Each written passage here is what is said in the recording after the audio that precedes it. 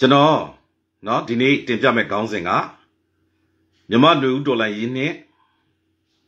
နိုကီယာเนาะဆိုတော့ဒီဟာကကျွန်တော်တို့မြမလူဦးဒေါ်လာရင်းနဲ့နိုကီယာဒီဟာကကျွန်တော်တို့နေရာမှာဘဝမှာနေရာတိုင်းမှာအသုံးချလို့ရပါတယ်เนาะဆိုတော့ဒီအကြောင်းအရာကျွန်တော်ဆွေးနွေးမှာဖြစ်တယ်ဒါအပြင်ကိုမနေ့ကเนาะကျွန်တော်ပြောထားတယ် ပြိတ္တာဖြစ်မဲ့မတရားသူကြီးတွေအကြောင်းဆိုပြီးတော့ကျွန်တော်ပြောထားတာရှိတယ်အဲ့ဒါကျွန်တော်စကားမဟုတ်ဘူးနော်ကျွန်တော်စကားမဟုတ်ဘူးနော်ဒါကကျွန်တော်တို့ဒါဖျားဝတရားထဲမှာရှိတယ်နော်အဲအဲ့ဒီအကြောင်းကိုပြောမှာဆိုတော့ဟုတ်ပြီဗျခုနကကျွန်တော် Facebook မှာ live ကကျသွားတယ်လीနော်ဆိုတော့အခုတော့ပြန်တက်လာပြီပြန်တက်လာပြီဆိုတော့ဟိုပြန်ပြီး share ပြအောင်ပေါ့ဗျာနော် ကြည့်တဲ့လူများလို့လားဒါမှမဟုတ်ရှင် report ထုတ်တဲ့လူများလို့လားမသိဘူးကြာတော့ကြာတော့တာပဲသူကအဲ့လိုမျိုးဖြစ်သွားတယ်နော်အခုတော့ဒါဒုတိယတစ်ချိန်ပြန်တက်လာဆိုတော့တခြင်းမဖွင့်တော့ပါဘူးနော်ဆိုတော့ဒီအကြောင်းအရာလေးကိုပဲကျွန်တော်တို့ဆွေးနွေးကြမယ်နော်မြမတူဒေါ်လာရင်းနဲ့ Nokia နော်အကြောင်းအရာချက်လက်ဒီပုံမှာကျွန်တော်တို့မူတည်ပြီးတော့စဉ်းစားပြီးတော့ပြောဆိုဆွေးနွေးကြမယ်ဆိုတော့ကမြမရှယ်ပေးဦးမြနော်ရှယ်ပေးဦးကျွန်တော်ဒီနေ့ live မှာ ဟိုကျွန်တော်ခုနကပြောမယ်ဟိုကြိုက်ကြဖြစ်မယ်မတရားသူကြီးလေးနော်အဲ့ဒီအကြောင်းအရာကကျွန်တော်တို့ဟိုဘုရားဟောတရားတွေကဆိုတော့ကျွန်တော်ဟာအကြောင်းအရာလွဲလို့ရှိရင်တကယ်လို့မြန်ဆရာတော်တန်ခါတော်တွေပါလို့ရှိရင်တပိတော်ကိုလာပြီးတော့ဟိုပြန်ပြီးတော့ပြင်ဆင်ပေးပါနော်တပိတော်ယူသေးဆိုတာရှောက်ထားပါတယ်ဘာကြောင့်လဲဆိုတော့တချို့အကြောင်းအရာတွေကအဲတပိတော်အနေနဲ့လွဲနိုင်တယ်နော်အဲ့ဒါကြောင့်မလို့ဟုတ်ပြီဗျနော်ကျွန်တော်အဲ့ဒီ ဒီအကြောင်းအရာလေးကမတရားသူကြီးတွေအကြောင်းတော့ပြည်သူတွေသိကြမှာပေါ့နော်မတရားသူကြီးတွေဆိုတာဘယ်လိုလူမျိုးတွေလဲကျွန်တော်တို့မြန်မာပြည်မှာတရားဥပဒေရှိသလားနော်မြန်မာပြည်မှာတရားဥပဒေကမရှိဘူးတရားသူကြီးရှိသလားဆိုတော့လေတရားသူကြီးမရှိဘူးနော်အဲ့လိုပဲကျွန်တော်တို့ပြောရမှာပဲနော်ပြောရမှာပဲဘာကြောင့်လဲဆိုတော့နေရာတကာမှာမတရားမှုတွေကြီးပဲကိုနော်မတရားမှုတွေကြီးပဲအဲ့လိုမျိုးဖြစ်လာနော်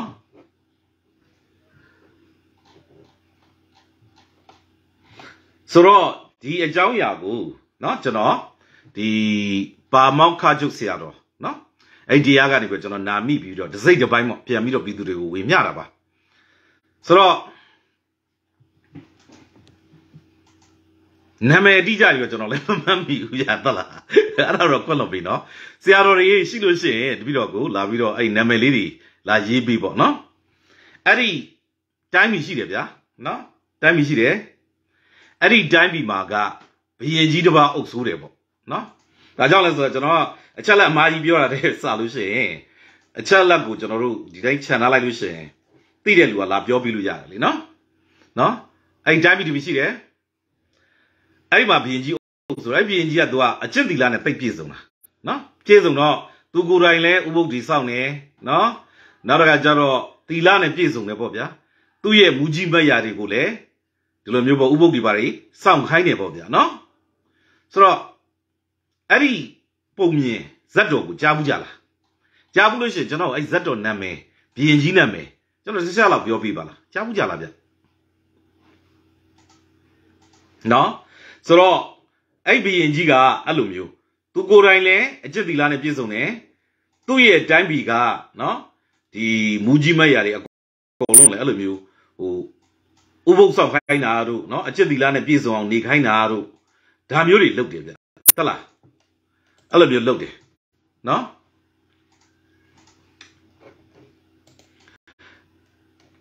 ဒီကျွန်တော် live ကိုများများလေးဝိုင်း share ပေးပါဗျနော်ကျွန်တော်ဟာကတော်တော်လေး report ထိနေလားမသိနော်ဆိုတော့ကအဲ့ဘယင်ခက်ခဲတဲ့ကပေါ့ဗျာနော်ကျွန်တော်တို့ဘယင်ခက်ခဲတဲ့ကဟိုးဘယင်ခက်ခဲတဲ့က အဲ့မှာတရားသူကြီးတယောက်ရှိတယ်နော်အဲ့တရားသူကြီးကသူအမှုတွေဘာတွေဆုံးဖြတ်တယ်ဘာညာဆိုလို့ရှိရင်သူကမမှန်ကန်ကန်ဆုံးဖြတ်ရမှာပေါ့နော်မမှန်ကန်ကန်ဆုံးဖြတ်ရမှာပေါ့ဒါပေမဲ့အဲ့တရားသူကြီးကဘာဖြစ်တယ်လဲဆိုတဲ့အခါကျတော့သူကလက်စားပြီးတော့အမှုကိုမမှန်မကန်ဆုံးဖြတ်တယ်တဲ့နော်လက်စားပြီးတော့အမှုကိုမမှန်မကန်ဆုံးဖြတ်တယ်အဲ့လိုမျိုးမမှန်မကန်ဆုံးဖြတ်တဲ့အခါကျတော့ သူသေတဲ့အခါကျတော့ဘာဖြစ်မလဲဆိုတော့ကျွန်တော်ဆက်ပြောပြမယ်တနေ့ကြတော့တဲ့ तू က နော်ဒီတရားစီရင်မှုရှိတယ်ပေါ့ဗျာတရားစီရင်မှုရှိတဲ့အခါကျတော့တဲ့နော်တရားစီရင်မှုရှိတဲ့အခါကျတော့ तू ကဘာလုပ်တယ်လဲဆိုတဲ့အခါကျတော့ဒီအဲ့အမျိုးသမီးတယောက်ကပေါ့ဗျာအဲ့တရားရုံးကိုလာတယ်လာတဲ့အချိန်မှာအဲ့အမျိုးသမီးက तू ကဗိုက်စာနဲ့ထမင်းမစားသေးဘူး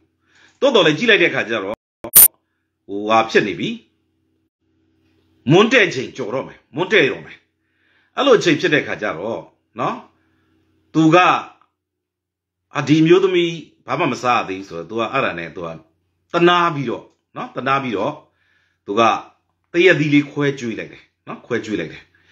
ခွဲကျွေးလိုက်ပြီးတော့ तू ကဆက်ပြီးတော့အမှုစီရင်တယ်အမှုစီရင်တဲ့အချိန်မှာ तू ကဘာလုပ်တယ်လဲဆိုတော့ तू ကတကြိုးလက်ဆောင်ယူပြီးတော့နော်မမှန်ကိုအမှန်လုပ်ပြီးတော့ तू ကဆုံးဖြတ်လိုက်တယ် ဆုံးဖြတ်လိုက်တယ်အဲ့ဒီကြတော့ညီလာခံဝင်တဲ့အခါကျတော့နော်ညီလာခံဝင်တဲ့အခါကျတော့ဘီကြီးကမေးတယ်ဘလို့လဲနော်တရားသူကြီးမင်းနော်ဥပုပ်ဒီလားစောင့်ဖြစ်လားသူကတော့လိန်နေသလားဘယင်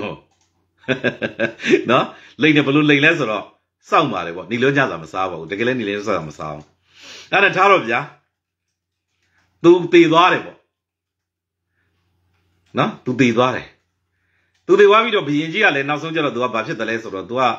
ဟိုတကယ်ကိုအကျင့်သီလနဲ့ပြည့်စုံပြီးတော့ဥပုပ်တွေပါလဲစောင့်နေပြီဆိုတော့ तू ကနောက်ဆုံးကျတော့ तू ကလည်းမင်းစည်းစိမ်ကိုစွန့်ပြီးတော့တောထွက်သွားတယ်ပေါ့ဗျာတောထွက်သွားတဲ့အခါကျတော့အဲ့လိုမျိုး तू ကတရားအားထုတ်တရားအားထုတ်ကျွန်တော်ပြောတယ်နော်အဲ့ဒီတရားနာဘူးတဲ့လူအဲ့ဇက်ကြောင်းကိုသိတဲ့လူရှိလို့ရှိရင်အမှန်လေးလာရေးပြပါကျွန်တော်တချို့ဟာတွေကနည်းနည်းကိုလွဲမှုတွေရှိကောင်းရှိနိုင်တယ်နော်ကိုလွဲမှုတွေရှိကောင်းရှိနိုင်တယ်ဒါကိုကျွန်တော်ပြောပြထားတယ်နော်ဆိုတော့က အဲ့တော့ဗျာအဲ့ဒီဘယင်ကြီးကအဲ့လိုမျိုးတရားအထုတ်တော့တနေ့ကျတော့မြစ်ဘေးကိုသွားမြစ်ဘေးကိုသွားပြီးတော့ရေချိုးမလို့လုတ်တဲ့အချိန်မှာတဲ့နော်တည့်ရသည်တလုံးမျောလာတာသူတွေ့တယ်နော်အဲ့တည့်ရသည်နာမည်ကဘာလဲဘိနကတည့်ရသည်လားကျွန်တော်မမမီတော့ဗျာနော်တီးလို့ရှိရင်ဆရာတော်တန်ခါတွေရှိလို့ရှိရင်ကျွန်တော်တစ်ချက်လေးလာပြောပေးနော်အဲ့တော့ကအဲ့တည့်ရသည်ကို तू ကဆယ်လိုက်ပြီးတော့ ပြီးလို့ရှိရင်စားမယ်ပေါ့ဗျာနော်အဲ့လိုမျိုးလုပ်တယ်လုပ်တဲ့အခါကျပြီးလဲပြီးတော့တည့်ရသည်ကိုစားလဲစားရော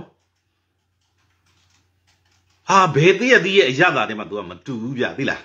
အဲ့လိုမျိုးဖြစ်တာအဲ့လိုမျိုးဖြစ်တဲ့အခါကျတော့ဟာနော်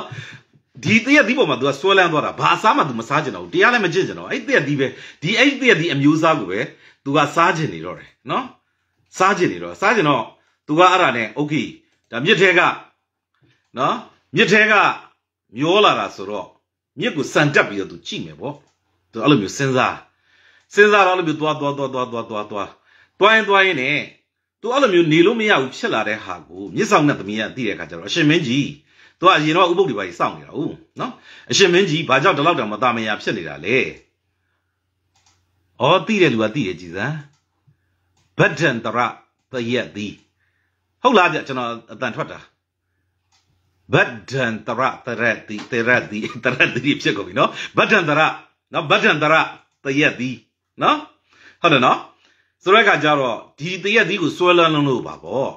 ပြောတဲ့အခါကျတော့ဩဒါမြန်ရှင်မင်းကြီးရယ်နော်စိတ်မညူညင်ပါနဲ့နော်မြစ်ကိုစံတက်သွားအဲ့မှာဥယျာဉ်ကြီးတစ်ခုရှိတယ်နော်အဲ့ဥယျာဉ်ကြီးထဲမှာအဲ့ဗတ္တဒရတရက်သီးတွေရှိတယ်ကြည့်ရတာဗျာတရက်သီးကသုံးလုံးထောင်လုံးဟာမျိုးကြီးတွေအကြီးတွေနေမှာပေါ့နော်ချိုအေးမှုေးပေါ့ဗျာအဲ့ဒါမြင်းကသွားသွားလဲသွားရော တရက်ချန်တွေကိုရောက်တရက်ချန်တွေကိုရောက်တဲ့အခါကျတော့ဟာတရက်သီးတွေအများကြီးမြင်းကြီးကပျော်သွားတယ်လူတွေလူတွေနော်တက်မှတ်မှုတနာတရားတွေဟောကုန်ပြီအစားတော့ तू ကရှိသမျှမင်းစည်းစိမ်အောင်စွန့်လွတ်ခဲ့ပြီးတော့တရားအားတော်တော်တဲ့ဘီရင်ကြီးကနော်နော်ဘန်ဒရတေတရတယဘန်ဒရတယဟုတ်ပြီဗျ နော်အဲ့ဘီရင်ကြီးကဘာဖြစ်တယ်လဲဆိုတော့အဲ့တရတီကိုသွားဆွဲလန်းတယ်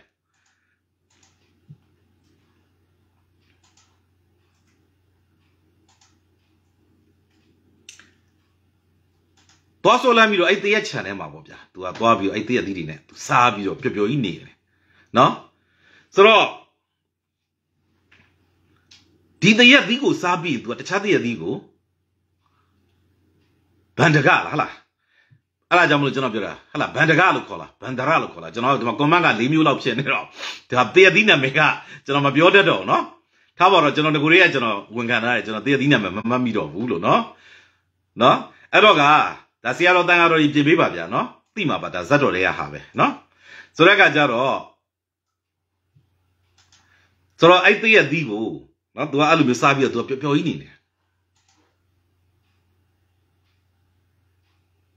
တည့်ရသီးရတာကိုတက်မဆွဲလဲနိုင်ဟုတ်တယ်အော်တချင်းရှိတယ်ဆရာတဲ့ဟုတ်ပြီအဲ့တော့အဲ့ဒီအချိန်မှာနော်အဲ့ဒီအချိန်မှာ तू စားနေတဲ့အချိန်မှာဘာကိုတွေ့ရတယ်လဲဆိုတော့ပြိတ္တာကြီးတကောင်ဟုတ်တယ်မလားဒါကဟိုကနေခံညဆန်လေဟုတ်တယ်မလားပြိတ္တာကြီးတကောင်ဟာပြိတ္တာကြီးတကောင်အဲ့ဒီအရက်ကလည်းထမ်းပင်လောက်ကြီးရှိတယ်သိလားရက်ကလည်းထမ်းပင်လောက်ကြီးရှိတယ်တဲ့ပြီးတော့ကို့အသားကိုကိုခွာစားနေရတာဟာကြည့်လိုက်ရသွေးတန်ရဲရဲနဲ့ကြောက်စရာကြီး ဟာဘယင်ကြီးကလည်းလန့်သွားတာဗောအဲ့ဒီအချိန်မှာအဲ့ပြိတ္တာကြီးကအဲ့ဘယင်ကြီးကိုစကားလာပြောတယ်အရှင်မင်းကြီးဆိုတော့ဘယင်ကြီးလည်းလန့်ဖြတ်သွားမှာလက်ပြကြီးပိုင်မလို့ရအောင်တော်တော်ထိတ်လိုက်ရမယ်သဘောရှိမှာဟုတ်လားနော်အရှင်မင်းကြီးပေါ့ဟာဒုက္ခပဲငါဒီပြိတ္တာဘယ်လိုသိတယ်လဲပေါ့နော်အရှင်မင်းကြီးဆိုတော့မကြောက်ပါနဲ့ပေါ့ကျွန်တော်ဟာဆိုလို့ရှိရင်အရှင်မင်းကြီးရဲ့တရားသူကြီးမင်းဖြစ်တယ်ဟာသူ့နာမည်ရှိတယ်ဗျာအဲ့တရားသူကြီးမင်းရဲ့နာမည် ဟာမင်းဘယ်လိုဖြစ်ရတာလဲပေါ့တရားသူကြီးမင်းသေတော့ဘယ်လိုဖြစ်ပြီးပိတ်ကြဖြစ်သွားတာလဲပေါ့သူအားရနဲ့ပြောပြအရှင်မင်းကြီးတဲ့ကျွန်တော်မျိုးကပေါ့လေလူဘဝတုန်းကမမမကန်နဲ့နော်အဘင်တရာလို့ခေါ်တယ်တဲ့မမမကန်နဲ့သဇိုးလက်ဆောင်ကိုယူပြီးတော့နော်ကျွန်တော်ကလက်စားခဲ့လို့ပေါ့ဗျာ corruption ပေါ့ဗျာဖျားရှင်လက်ထက်ကလေးက corruption ရှိတယ်နော်အဲ့ဘက်ဟိုးခက်ကလေးက corruption လက်စားခဲ့လို့ကျွန်တော်အခုကြတော့ တည်တဲ့ခါကျတော့ပြိတ္တာကြီးဖြစ်နေတာကျွန်တော်ပြောချင်တာအဲ့ဒါအဲ့တော့အခုခက်နော်မမမကန်လုတ်တဲ့မတရားသူကြီးတွေအကုန်လုံးသိရင်ပြိတ္တာဖြစ်မှာအဲ့ဒါပြောချင်တာနော်သိရင်ပြိတ္တာဖြစ်မှာနော်ပြိတ္တာဖြစ်မှာ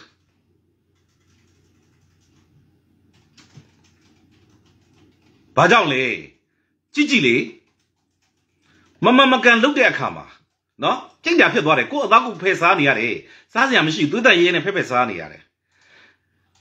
ဒါပေမဲ့ तू ကအဲ့တရက်ချံမှာဘာကြောင့်ပြန်ပြီးတော့ကြိတ်တာကြီးဖြစ်နေလဲအတူတကယ်ကြီးဖြစ်နေလဲဆိုတော့နော်ဆွဲလန်းမှုပေါ့ဗျာနော်ခုနကဟိုကောင်မလေးကိုနော်သူမှာဗိုက်စာနေမှန်းသိလို့တရက်ဒီခွဲကျွေးလိုက်တော့သူ့ရဲ့တရက်ချံမှာ तू ပြန်ဆွဲပြီးတော့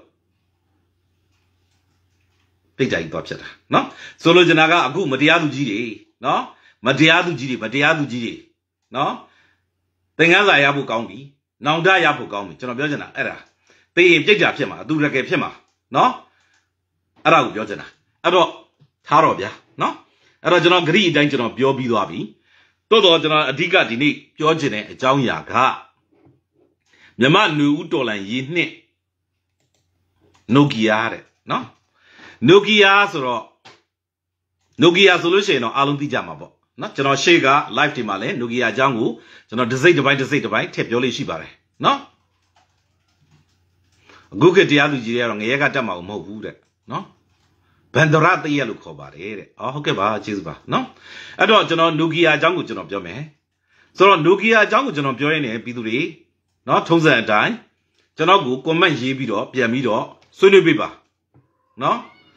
ဆွေးနွေးပေးပါ comment ပြန်ရေးပေးပါဘလို့ကြောင့်ဘာဖြစ်တယ်လဲ နော်အဲ့ဒါကိုကျွန်တော်ကိုပြန်ပြီးတော့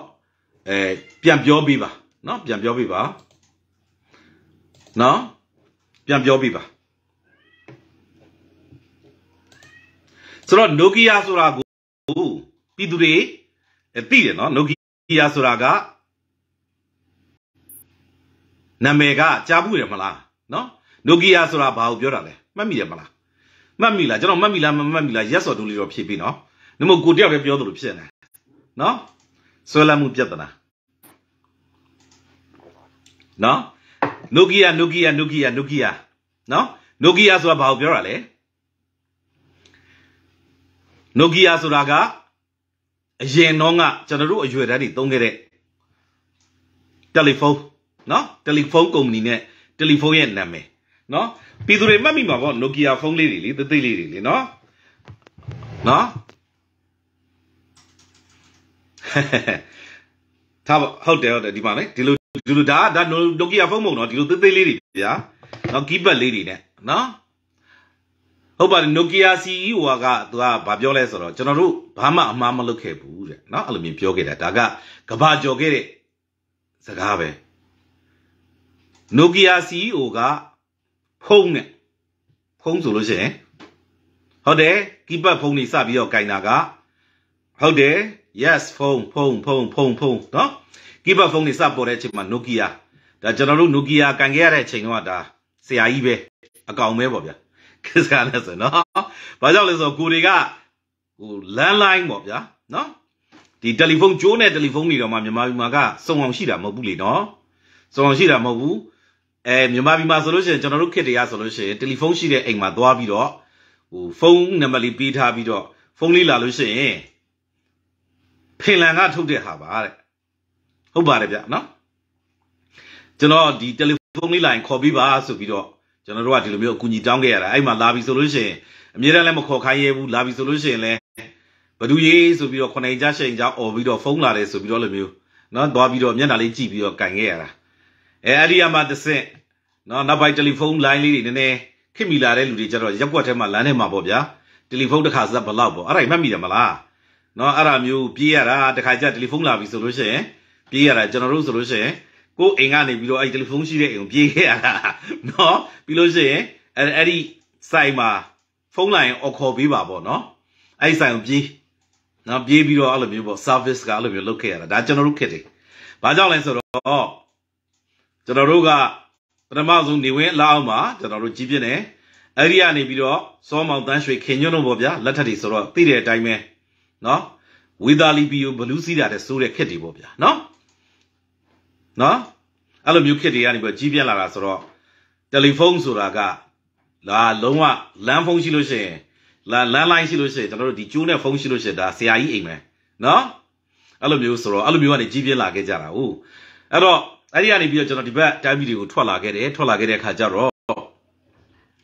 ကျွန်တော်ဒီအင်္ဂလန်ကိုရောက်တယ်ပေါ့ဗျာနော်ရောက်တယ်ဆိုတော့အခုနှစ်20ပေါ့ဗျာနော် အဲ့တော့ရောက်တဲ့အချိန်မှာဒီနိုင်ငံမှာကတိုးတက်နေပြီလေနော်မြန်မာပြည်နဲ့ကလုံးဝမကွာသွားပြီကွာသွားပြီဆိုတော့ရောက်တဲ့လူတိုင်းကကျွန်တော်တို့ဘာပြောလဲဆိုတော့တယ်လီဖုန်းတစ်လုံးတော့ရှိရမယ်ဆိုတော့အဲ့လိုမျိုးပေါ့တယ်လီဖုန်းတစ်လုံးဝယ်ခဲ့ရတယ်ပေါ့နော်အဲ့ဒီဝယ်ခဲ့တဲ့ဖုန်းလေးဒီ Nokia ဖုန်းလေးကျွန်တော်အခုချိန်ဒီမှတ်မိတယ်မျက်စိတည်းလည်းအခုချိန်ဒီမထွက်ဘူးအဲ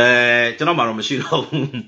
အစိမ့်နုရောင်လေးနော်တသေးလေးကီးပတ်လေးဟာအဲ့ဒါလေးကိုကင်ပြီးတော့ဂျင်းမောင်းမီအိတ်ထဲထည့်ပြီးတော့လမ်းလျှောက်လို့ရှိရင်အဲ့ဒါလေးကိုလက်လေးကဖိပြီးတော့ကပိုက်နိုင်ခံမှဆိုလို့ ကျွန်တော်နော်ကျွန်တော်ဒီအင်္ဂလန်မှာလည်းကပိုက်နိုင်ကရှိတာပဲနော်အဲ့ဒါလေးအနိုင်ခံမှဆိုလို့လက်လေးထဲမှာထည့်ပြီးတော့သိလားအဲအဲ့လိုမျိုးနဲ့ဥစ္စာချောက်ပြီးတော့ကြီးပြင်းခဲ့ရတာဟုတ်နော်ဆိုတော့ဒီ Nokia ဖုန်းကိုကျွန်တော်တို့ပြန်ပြီးလေ့လာရလိမ့်မယ်လို့နော်ကျွန်တော်လည်းမထင်ခဲ့မိဘူးဒီ Nokia ဖုန်းဒီဈေးကွက်ထဲမှာတကယ်ကိုပြိုင်ဘက်မရှိနော်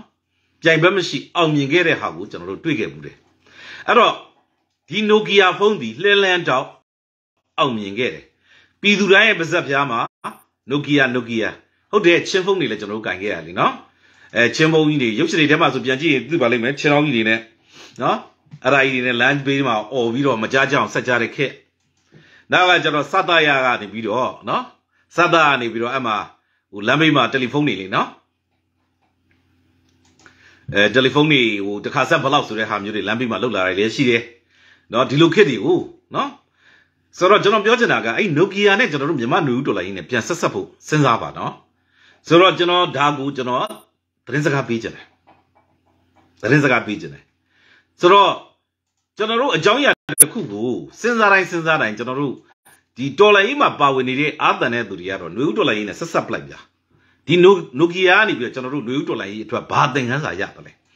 အဲ့ဒီကနေပြီးတော့ကျွန်တော်တို့ရှေ့လျှောက်ပြီးတော့ကိုကောင်းအောင်ဘာလုပ်တင်တယ်လဲပေါ့ဒါလေးကိုစဉ်းစားစေချင်တယ် ဒါမှမဟုတ်စီးပွားရေးလုပ်ငန်းဆိုလဲစီးပွားရေးလုပ်ငန်းရှင်တွေအနေနဲ့ကဒီ Nokia ကနေပြီးတော့ဘာသင်ခန်းစာရမလဲအဲ့ဒါလေးကိုစဉ်းစားစီချင်တယ်တခါကျွန်တော်တို့ဒါမှမဟုတ်လို့ရှိရင်လည်းဗျာဟိုចောင်းသားတွေဒါမှမဟုတ်အလုတ်ကန်ရှာဖွေနေသူတွေဆိုလို့ရှိရင်ဒီ Nokia ကနေပြီးတော့ကိုကဘာသင်ခန်းစာရမလဲဘဝမှာသင်ခန်းစာတစ်ခုခုတော့ရခဲ့စီချင်တယ်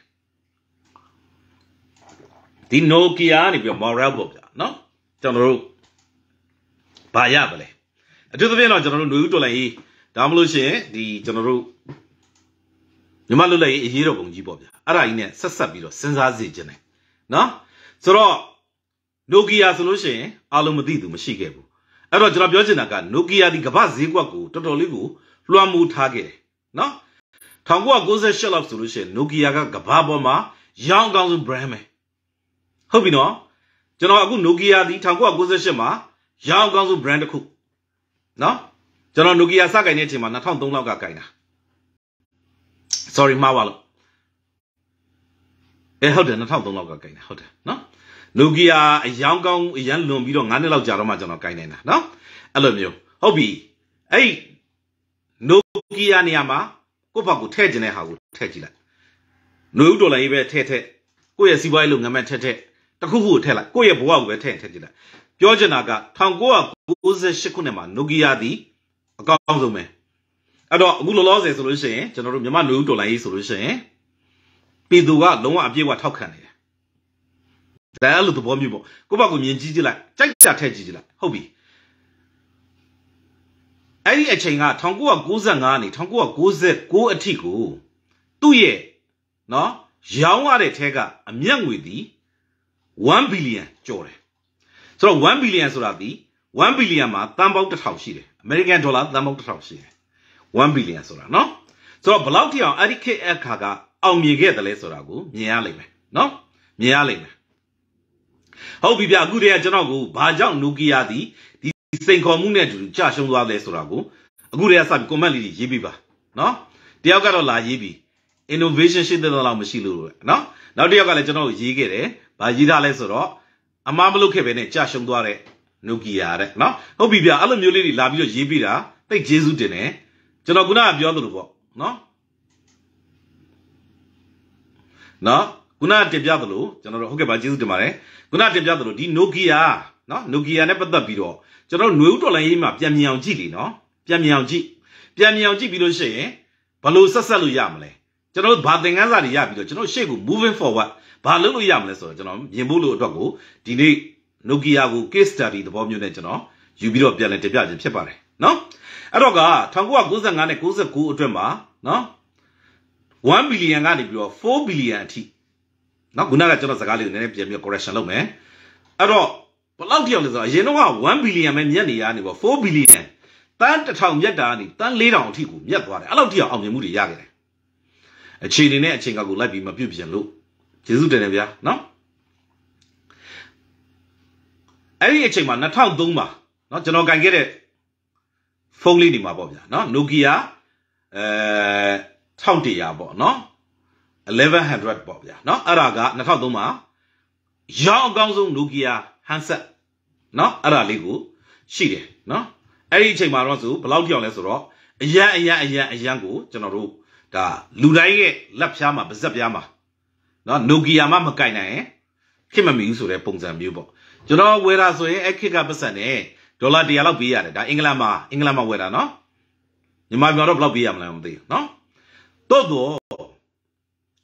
တော့တော့ဒီနေရာမှာအရန်အရေးကြီးတာကကျွန်တော်တို့တွေဒီကျွန်တော်တို့တွေဒီဒီနေရာမှာအရန်အရေးကြီးတယ်ကျွန်တော်တို့တွေဒီရက်တက်နေတဲ့လူတွေမဟုတ်ဘူးအဲ့ဒါသိအရေးကြီးတယ်ဒီနေရာမှာအရန်အရေးကြီးတာကကျွန်တော်တို့တွေဒီပြိုင်ဆိုင်မှုကအဖက်ဖက်ကလုပ်နေကြရတယ်အဲ့တော့ကျွန်တော်စီးပွားရေးလုပ်ငန်းဆိုလဲစီးပွားရေးလုပ်ငန်း ဒါမှမလို့ရှိရင်လေကျွန်တော်တို့တော်လန်ရေးဆိုကျွန်တော်တို့ ਨੇ ပြိုင်နေရတာဘာတူတွေလဲစက္ခရခတွေမအားလာတို့စက္ခစတွေဟုတ်တယ်ဟုတ်ဒါကိုကျွန်တော်မြင်အောင်ကြည့်စေချင်တယ်ကျွန်တော်တို့ကဒီနွေဦးတော်လန်ရေးကိုကျွန်တော်တို့ကြီးပဲရွေ့နေတယ်လို့မထင်နဲ့ဖင်လန်ရဲ့နူကီယာကကီးပတ်တစ်ခက်မှာလှည့်လှည့်တောက်ခဲ့တာဟုတ်တယ်အပြောင်းလဲတွေမှာမပြောင်းလဲခဲ့လို့ခင်မမီလို့အမိမလိုက်နိုင်လို့ဟုတ်ပြီနော်ဟုတ်ပြီနော် ကျွန်တော်ပြောချင်တာကအဲ့ဒါအဲ့တော့ကျွန်တော်တို့ကဒီຫນွေဦးတော်လိုင်းရေးကြီးကကိုတွေပဲရွေ့နေတယ်လို့မထင်နဲ့သူများလည်းရွေ့နေတယ်ကိုတွေပဲအမားတွေကိုပြင်ဆင်ဖို့ကြိုးစားတယ်မထင်နဲ့သူများလည်းအမားတွေကိုပြင်ဆင်ဖို့ကြိုးစားကောင်းကြိုးစားနေနိုင်တယ်နောက်တစ်ခုကဘာလဲဆိုတော့ကျွန်တော်တို့ကဘဝမှာကတယောက်တည်းနေနေကြတာမဟုတ်ဘူးဒါအပြင်ကျွန်တော်တို့တွေကရွေ့နေကြတယ်ဆိုတာမမေ့နဲ့သူလိုကိုလိုတွေရှိနေကြတယ်ဆိုတာမမေ့နဲ့ဆိုတော့သင်ခန်းစာနံပါတ်1ကစရပြီ အဲ့တော့ Nokia ဒီ1998ကနေပြီးတော့2003လောက်ထိလှမ်းလှမ်းတော့အောင်မြင်ခဲ့ပြီးတော့နော်လှမ်းလှမ်းတော့အောင်မြင်ခဲ့ပြီးတော့ရက်တက်နေခဲ့လို့နော်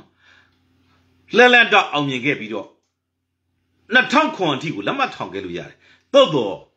Nokia မသိလိုက်တဲ့အချက်ကဘာလဲဆိုတော့သူများဒီက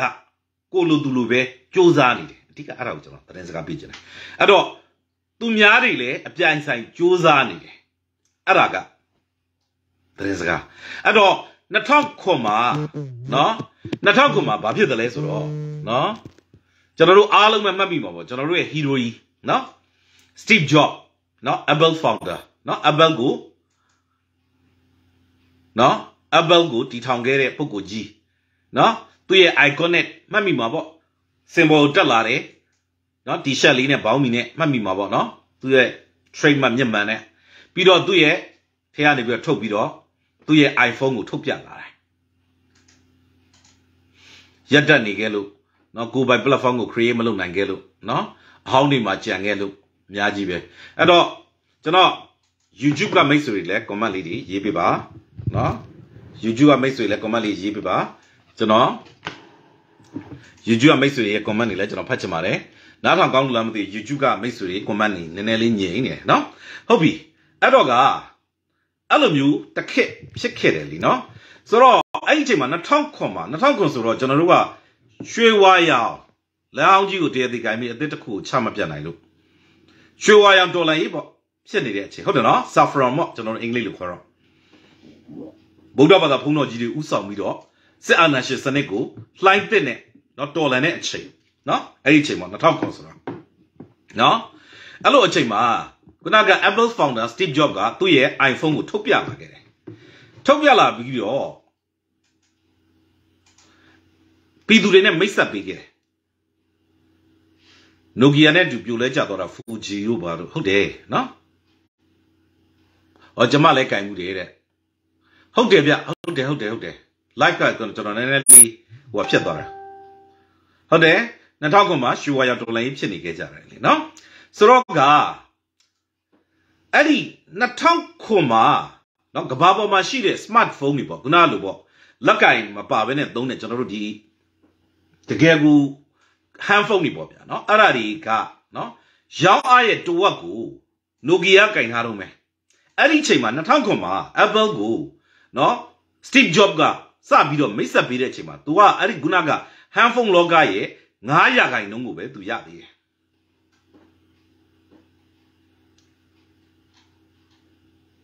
ဟုတ်ပြီနော်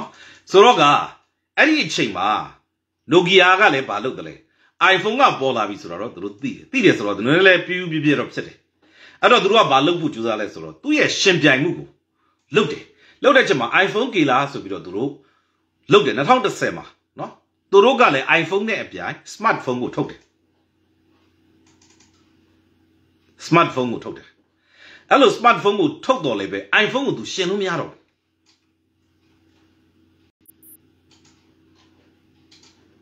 အဲ့ဒါကိုသွားတွေ့ရတယ်နော်သွားတွေ့ရတယ်တခါ iPhone ကသူ့ရဲ့ smartphone ရဲ့ quality ကော service ကောနော်နောက်တစ်ခါကျတော့ तू ရမယ့် benefit တွေကောအကုန်လုံးပေါ့ဗျာနော်အစစအရာအတွက်ကို तू ကတိုးတက်အောင်လုပ်နေတဲ့အချိန်မှာဒီဘက်က Nokia ဘက်ကကျတော့ တပြင်းနဲ့လိုက်မမီတော့ကျလာတယ် quality ကကျလာတယ်ကျလာတယ်နောက်ဆုံးကျတော့ဘာဖြစ်လဲ6နှစ်အတွင်းမှာ iPhone ပေါ်လာပြီးတော့6နှစ်လောက်အတွင်းမှာ2010ကနေပြီးတော့เนาะအဲ့နောက်ပိုင်းမှာ6နှစ်အတွင်းမှာသူ့ရဲ့ Nokia ရဲ့ market value လို့ခေါ်တဲ့ဈေးကွက်တန်ဖိုးက90ရာခိုင်နှုန်းထိထိုးကျသွားတယ်နောက်ဆုံးကျတော့ဘာဖြစ်သွားသလဲ2017မှာเนาะ ထပ်ပြီးတော့ကြတယ်ကြပြီးတဲ့အခါမှာ2013နဲ့ကြအောင်အဲ့ဒီ Nokia ကိုဘယ်သူကဝယ်ပလိုက်ရလဲဆိုတော့ Microsoft ကဝယ်ပလိုက်ရတယ် Bill Gates ကဝယ်ပလိုက်ရတယ်ဘာလို့ဆိုတော့ဒီ Nokia ကျသွားတဲ့ထက်မှာခုနက Bill Gates တို့လည်းတောင်းမှမကင်းဘူးတကယ်ပို့ဝင်လည်းပြောကြကြည့်ဆိုလို့ရှိရင်နော်ဒီဘက်ကဗျာ iPhone ကတိုးတက်လာတယ်နော်တခါကျွန်တော်တို့ Samsung တို့ကတိုးတက်လာတယ်နော်တရုတ်ပြည်မှာဆိုလို့ရှိရင်တိုးတက်လာတဲ့ဖုန်းကပါလေ Huawei တို့ပါတော့ပေါ့နော်နော်အဲ့ဒါပြည်တိုးတက်လာတယ် အဲ့လိုမျိုးဖြစ်လာတဲ့ချိန်မှာဒီဘက်က iPhone ကလည်းသူ့ရဲ့ဒီကျွန်တော်တို့သူ့ရဲ့ software ကိုအဓိကထားပြီးတော့ interactive နဲ့ smartphone ကိုသူကကြိုးစားတယ်တခါ Samsung တို့နော် Huawei တို့ကကြတော့ဈေးသက်သာပြီးတော့ပို့ပြီးတော့အသုံးတဲ့ technology ကိုသုံးတယ်အဲ့ဒီမှာဆိုလို့ရှိရင်အဓိကကသူတို့က software ကိုဘာတွေသုံးလာလဲဆိုတော့ Android ကိုဘာတို့ကိုသူတို့ကသုံးလာကြတယ်နော် operation system တွေကို Android ကိုသုံးပြီးတော့ software ကိုပို့ပြီးတော့အဓိကထားလာတယ် အဲ့ဒီအချိန်မှာခုနက Nokia Nokia ဘာလို့ပို့ကြိုးစားလဲဆိုတော့ hardware ကိုပို့ပြီးတော့အဓိကထားလာတယ်ထားပြီးတော့သူကဘာလုပ်လဲဆိုတော့ Apple နဲ့ပြိုင်ဖို့ဆိုပြီးတော့အစင်လာက Apple နဲ့ Microsoft နဲ့ကပြိုင်ဘက်ကိုနော်ပြိုင်ဘက်ဆိုတဲ့အခါကျတော့ Apple က iPhone ထုတ်လို့ရှိရင်ငါတို့ရဲ့ Nokia မှာ Microsoft ကဟာကိုထည့်မယ်ဆိုပြီးတော့နော်သူကအဲ့လိုမျိုးလုပ်တယ်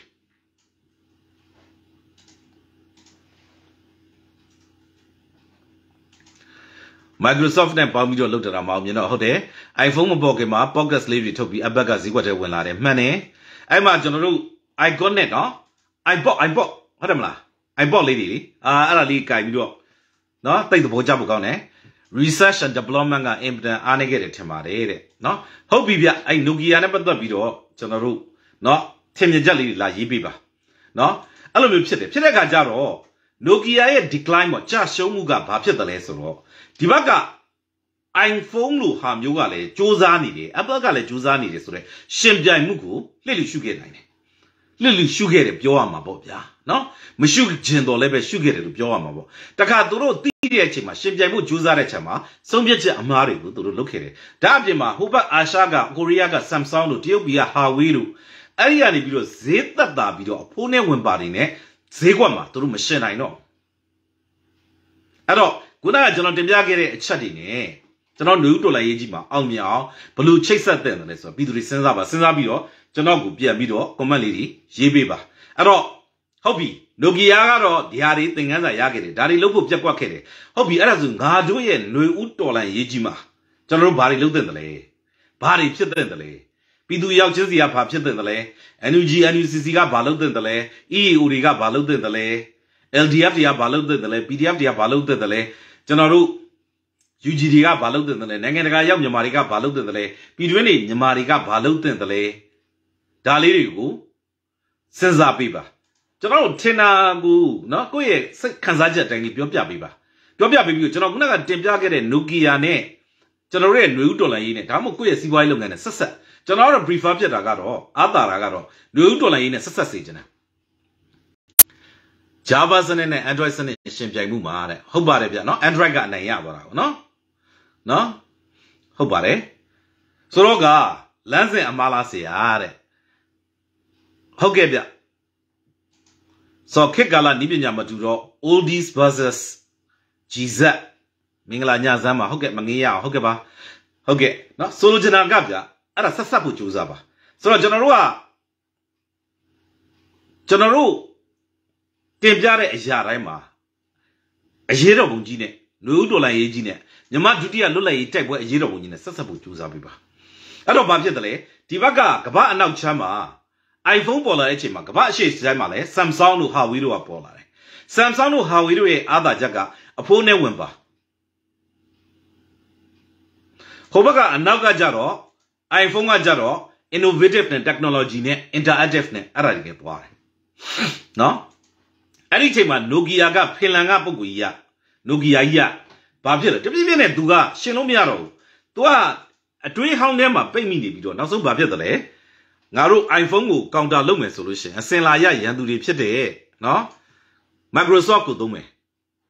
ဆို Microsoft ကိုသူတို့သုံးတယ် Windows system တွေသုံးတယ်ကျွန်တော်သုံးမှုတွေဘလို့မသုံးရတာရတာမရှိဘူး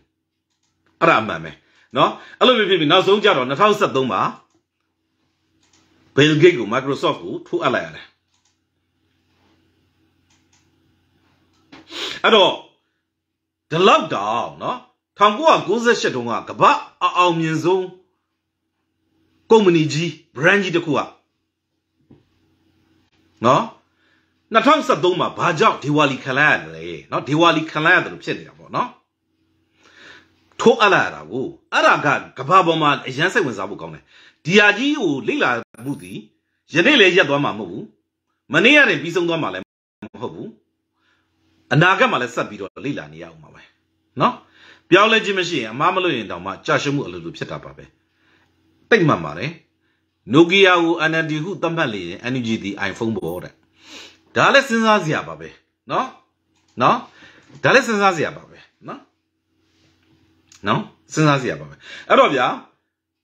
ဒါကအမြဲတမ်းလေ့လာနေရမယ့် case study တစ်ခုကျွန်တော်ပြောချင်တာအဲ့တော့ကျွန်တော်တို့ Nokia ရဲ့ကြာရှုံးမှုဟုတ်ပြီကျွန်တော်တို့စကားတစ်ခုရှိတယ်နော်ပညာရှိတွေနော်ကျွန်တော်တို့လူလိမ္မာတွေကကိုယ်တိုင်အမားလုပ်တာတဲ့သူများအမားကနေပြီးတော့တင်ယူတယ်တဲ့အဲ့တော့ကျွန်တော်တို့က Nokia ရဲ့အမားကနေကျွန်တော်တို့ကတင်ယူအောင်အဲ့ရရှိလာတဲ့သင်ခန်းစာကို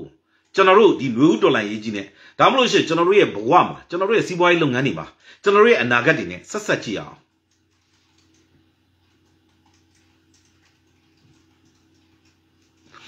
Android စနစ်က open source လုပ်ပြီးထားတော့တဲ့လူအများကလွတ်လပ်စွာပြည့်ပြည့်သုံးဆွဲကြတော့ခေတ်နဲ့အမီလူတွေရဲ့လိုအပ်ချက်တွေကိုဖြည့်ဆည်းလာနိုင်ပြီးလူသုံးများအောင်လုပ်လာတာ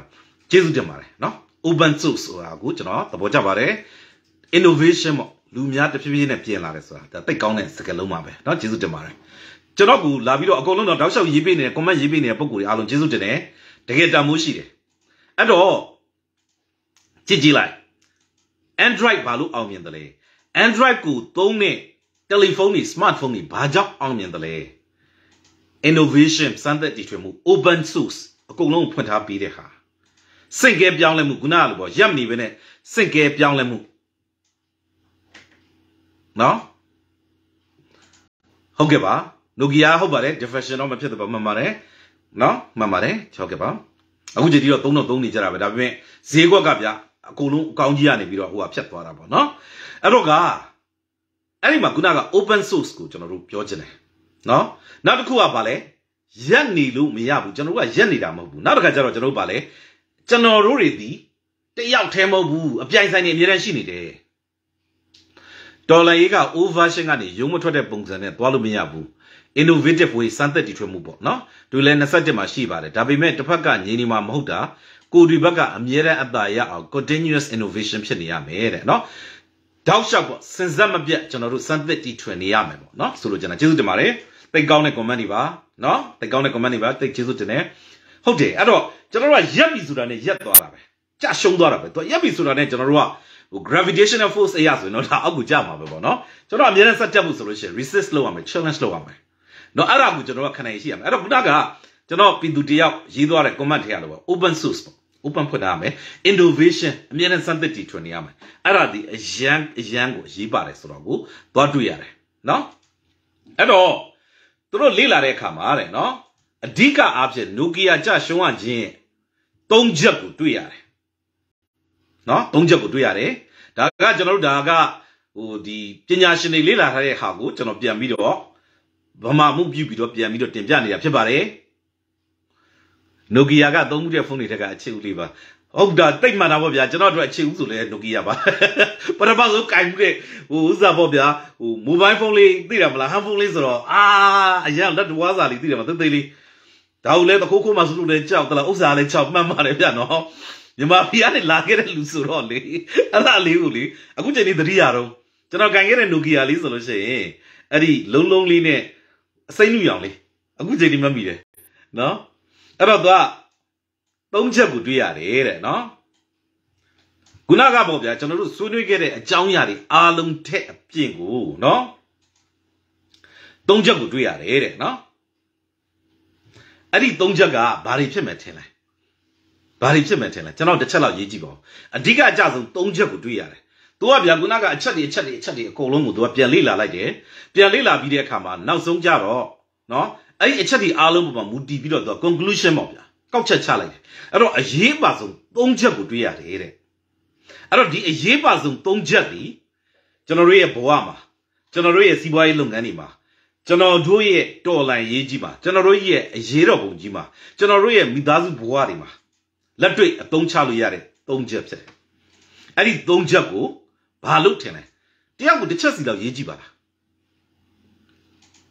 ဟုတ်ပါဗျာကီးပတ်လေးကျွန်တော်တော့အခုပြန်ကင်ကြတယ်နော်တယောက်ကိုတစ်ချက်လောက်ရေးကြည့်ပါလားနော်သုံးချက်အဓိကသုံးချက်သုံးချက်လုံးမှန်ရင်တော့လားရှယ်ပဲဗျာနော်ဒါပေမဲ့မှားတဲ့အဖြေဆိုတော့မရှိဘူးဆိုတာကျွန်တော်ကြိုပြောထားမယ်နော်ကွဲလို့တဲ့အဖြေမှန်လေးပဲရှိလိမ့်မယ်ဘာကြောင့်လဲဆိုတော့အဖြေတွေက မှားတယ်ဆိုတာမရှိပါဘူးအမြင်မတူတာပဲရှိပါလိမ့်မယ်အဲ့တော့လွတ်လွတ်လပ်လပ်ရဲဝင်းဝင်းနဲ့ကိုယ့်ရဲ့ comment လေးတွေဝိုင်းရေးပေးပါနော်ဝိုင်းပြီးရေးပေးပါ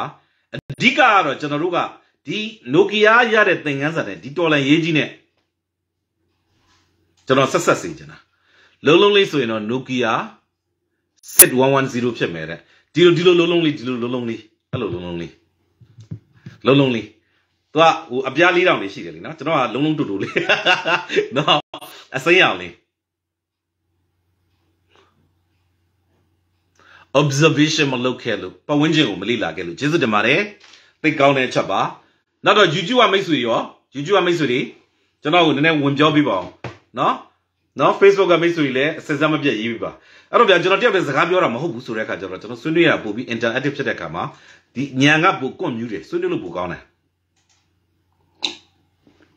ဆုံးဖြတ်မှုကိုအမိမလိုက်နိုင်တာသိကောင်းပါတယ် YouTube ကမိတ်ဆွေတွေရောဘယ်လိုထင်လဲဗျ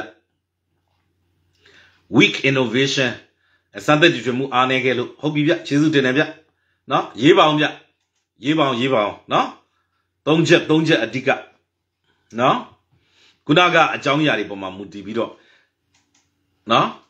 ပြောင်းလဲမှုကိုမလှုပ်ဆောင်နိုင်တာဟုတ်ပြီနော်ဟုတ်ပြီဗျကျွန်တော်တို့ကကျွန်တော်တို့ရဲ့ຫນွေဦးတော်လိုင်းရေးကြီးပြီးတော့ကျွန်တော်တို့ຫນွေဦးတော်လိုင်းရေးကြီးရဲ့ဥဆောင်မှုတွေအဲ့ဓာတွေကိုခုနကကျွန်တော်တင်ပြနေတဲ့ Nokia ရဲ့သင်ခန်းစာနဲ့ပြန်ပြီးချိန်ထိုးပြီးတော့ပြန်ပြန်ကြည့်မယ်နော်ပြန်ပြန်ကြည့်မယ်ဆိုတာကကျွန်တော်တို့ရဲ့ anima ရွယ်ချက်သည်ကျွန်တော်တို့ရဲ့ရည်မှန်းချက်သည်တော်လည်ရေးကြီးအမနဲ့နဲ့နဲ့မြင်မြအောင်မြင်ဖို့အဲ့ဒါကိုရှေ့ရှုပြီးတော့ကျွန်တော်တို့တင်ပြခြင်းဖြစ်တယ်ပြောင်းလဲမှုကိုမလုပ်ဆောင်နိုင်တာတဲ့တနေရာတဲ့ကိုရက်တက်နေတာတဲ့နော်အဲ့တော့ကကျွန်တော်အဲ့ဒီဟာပေါ်မှာကျွန်တော်တို့မူတည်ပြီးတော့ပြောခြင်းဖြစ်တယ်အဲ့တော့ကနော်ဟုတ်ပြီတို့တော့ပေါ့ဗျာဒါဒါကျွန်တော်ရဲ့အာပေါ်မဟုတ်ဘူးနော် ကျွန်တော်ရဲ့အာဘော်မဟုတ်ဘူးနော်ပြောင်းလဲတဲ့ခေတ်တစ်ခုကိုဂယူးမဆိုင်လို့ကျွန်တော်ရဲ့အာဘော်မဟုတ်ဘူးကျွန်တော်ရဲ့အာဘော်မဟုတ်ဘူးပညာရှင်တွေသူတို့သူသေသနာပြုတယ်အဲ့သူသေသနာပြုတဲ့ထက်မှာခုနကနိုကီယာမှာပါဝင်လှုပ်ဆောင်ခဲ့တဲ့အဲ့ CEO ကနေအောက်ခြေဝန်ထမ်းတီရောက်80ကျော်100လောက်ရှိတယ်အဲ့ဒါတွေကို interview တွေလုပ်ပြီးတော့ကောက်ချက်ချထားတာနော်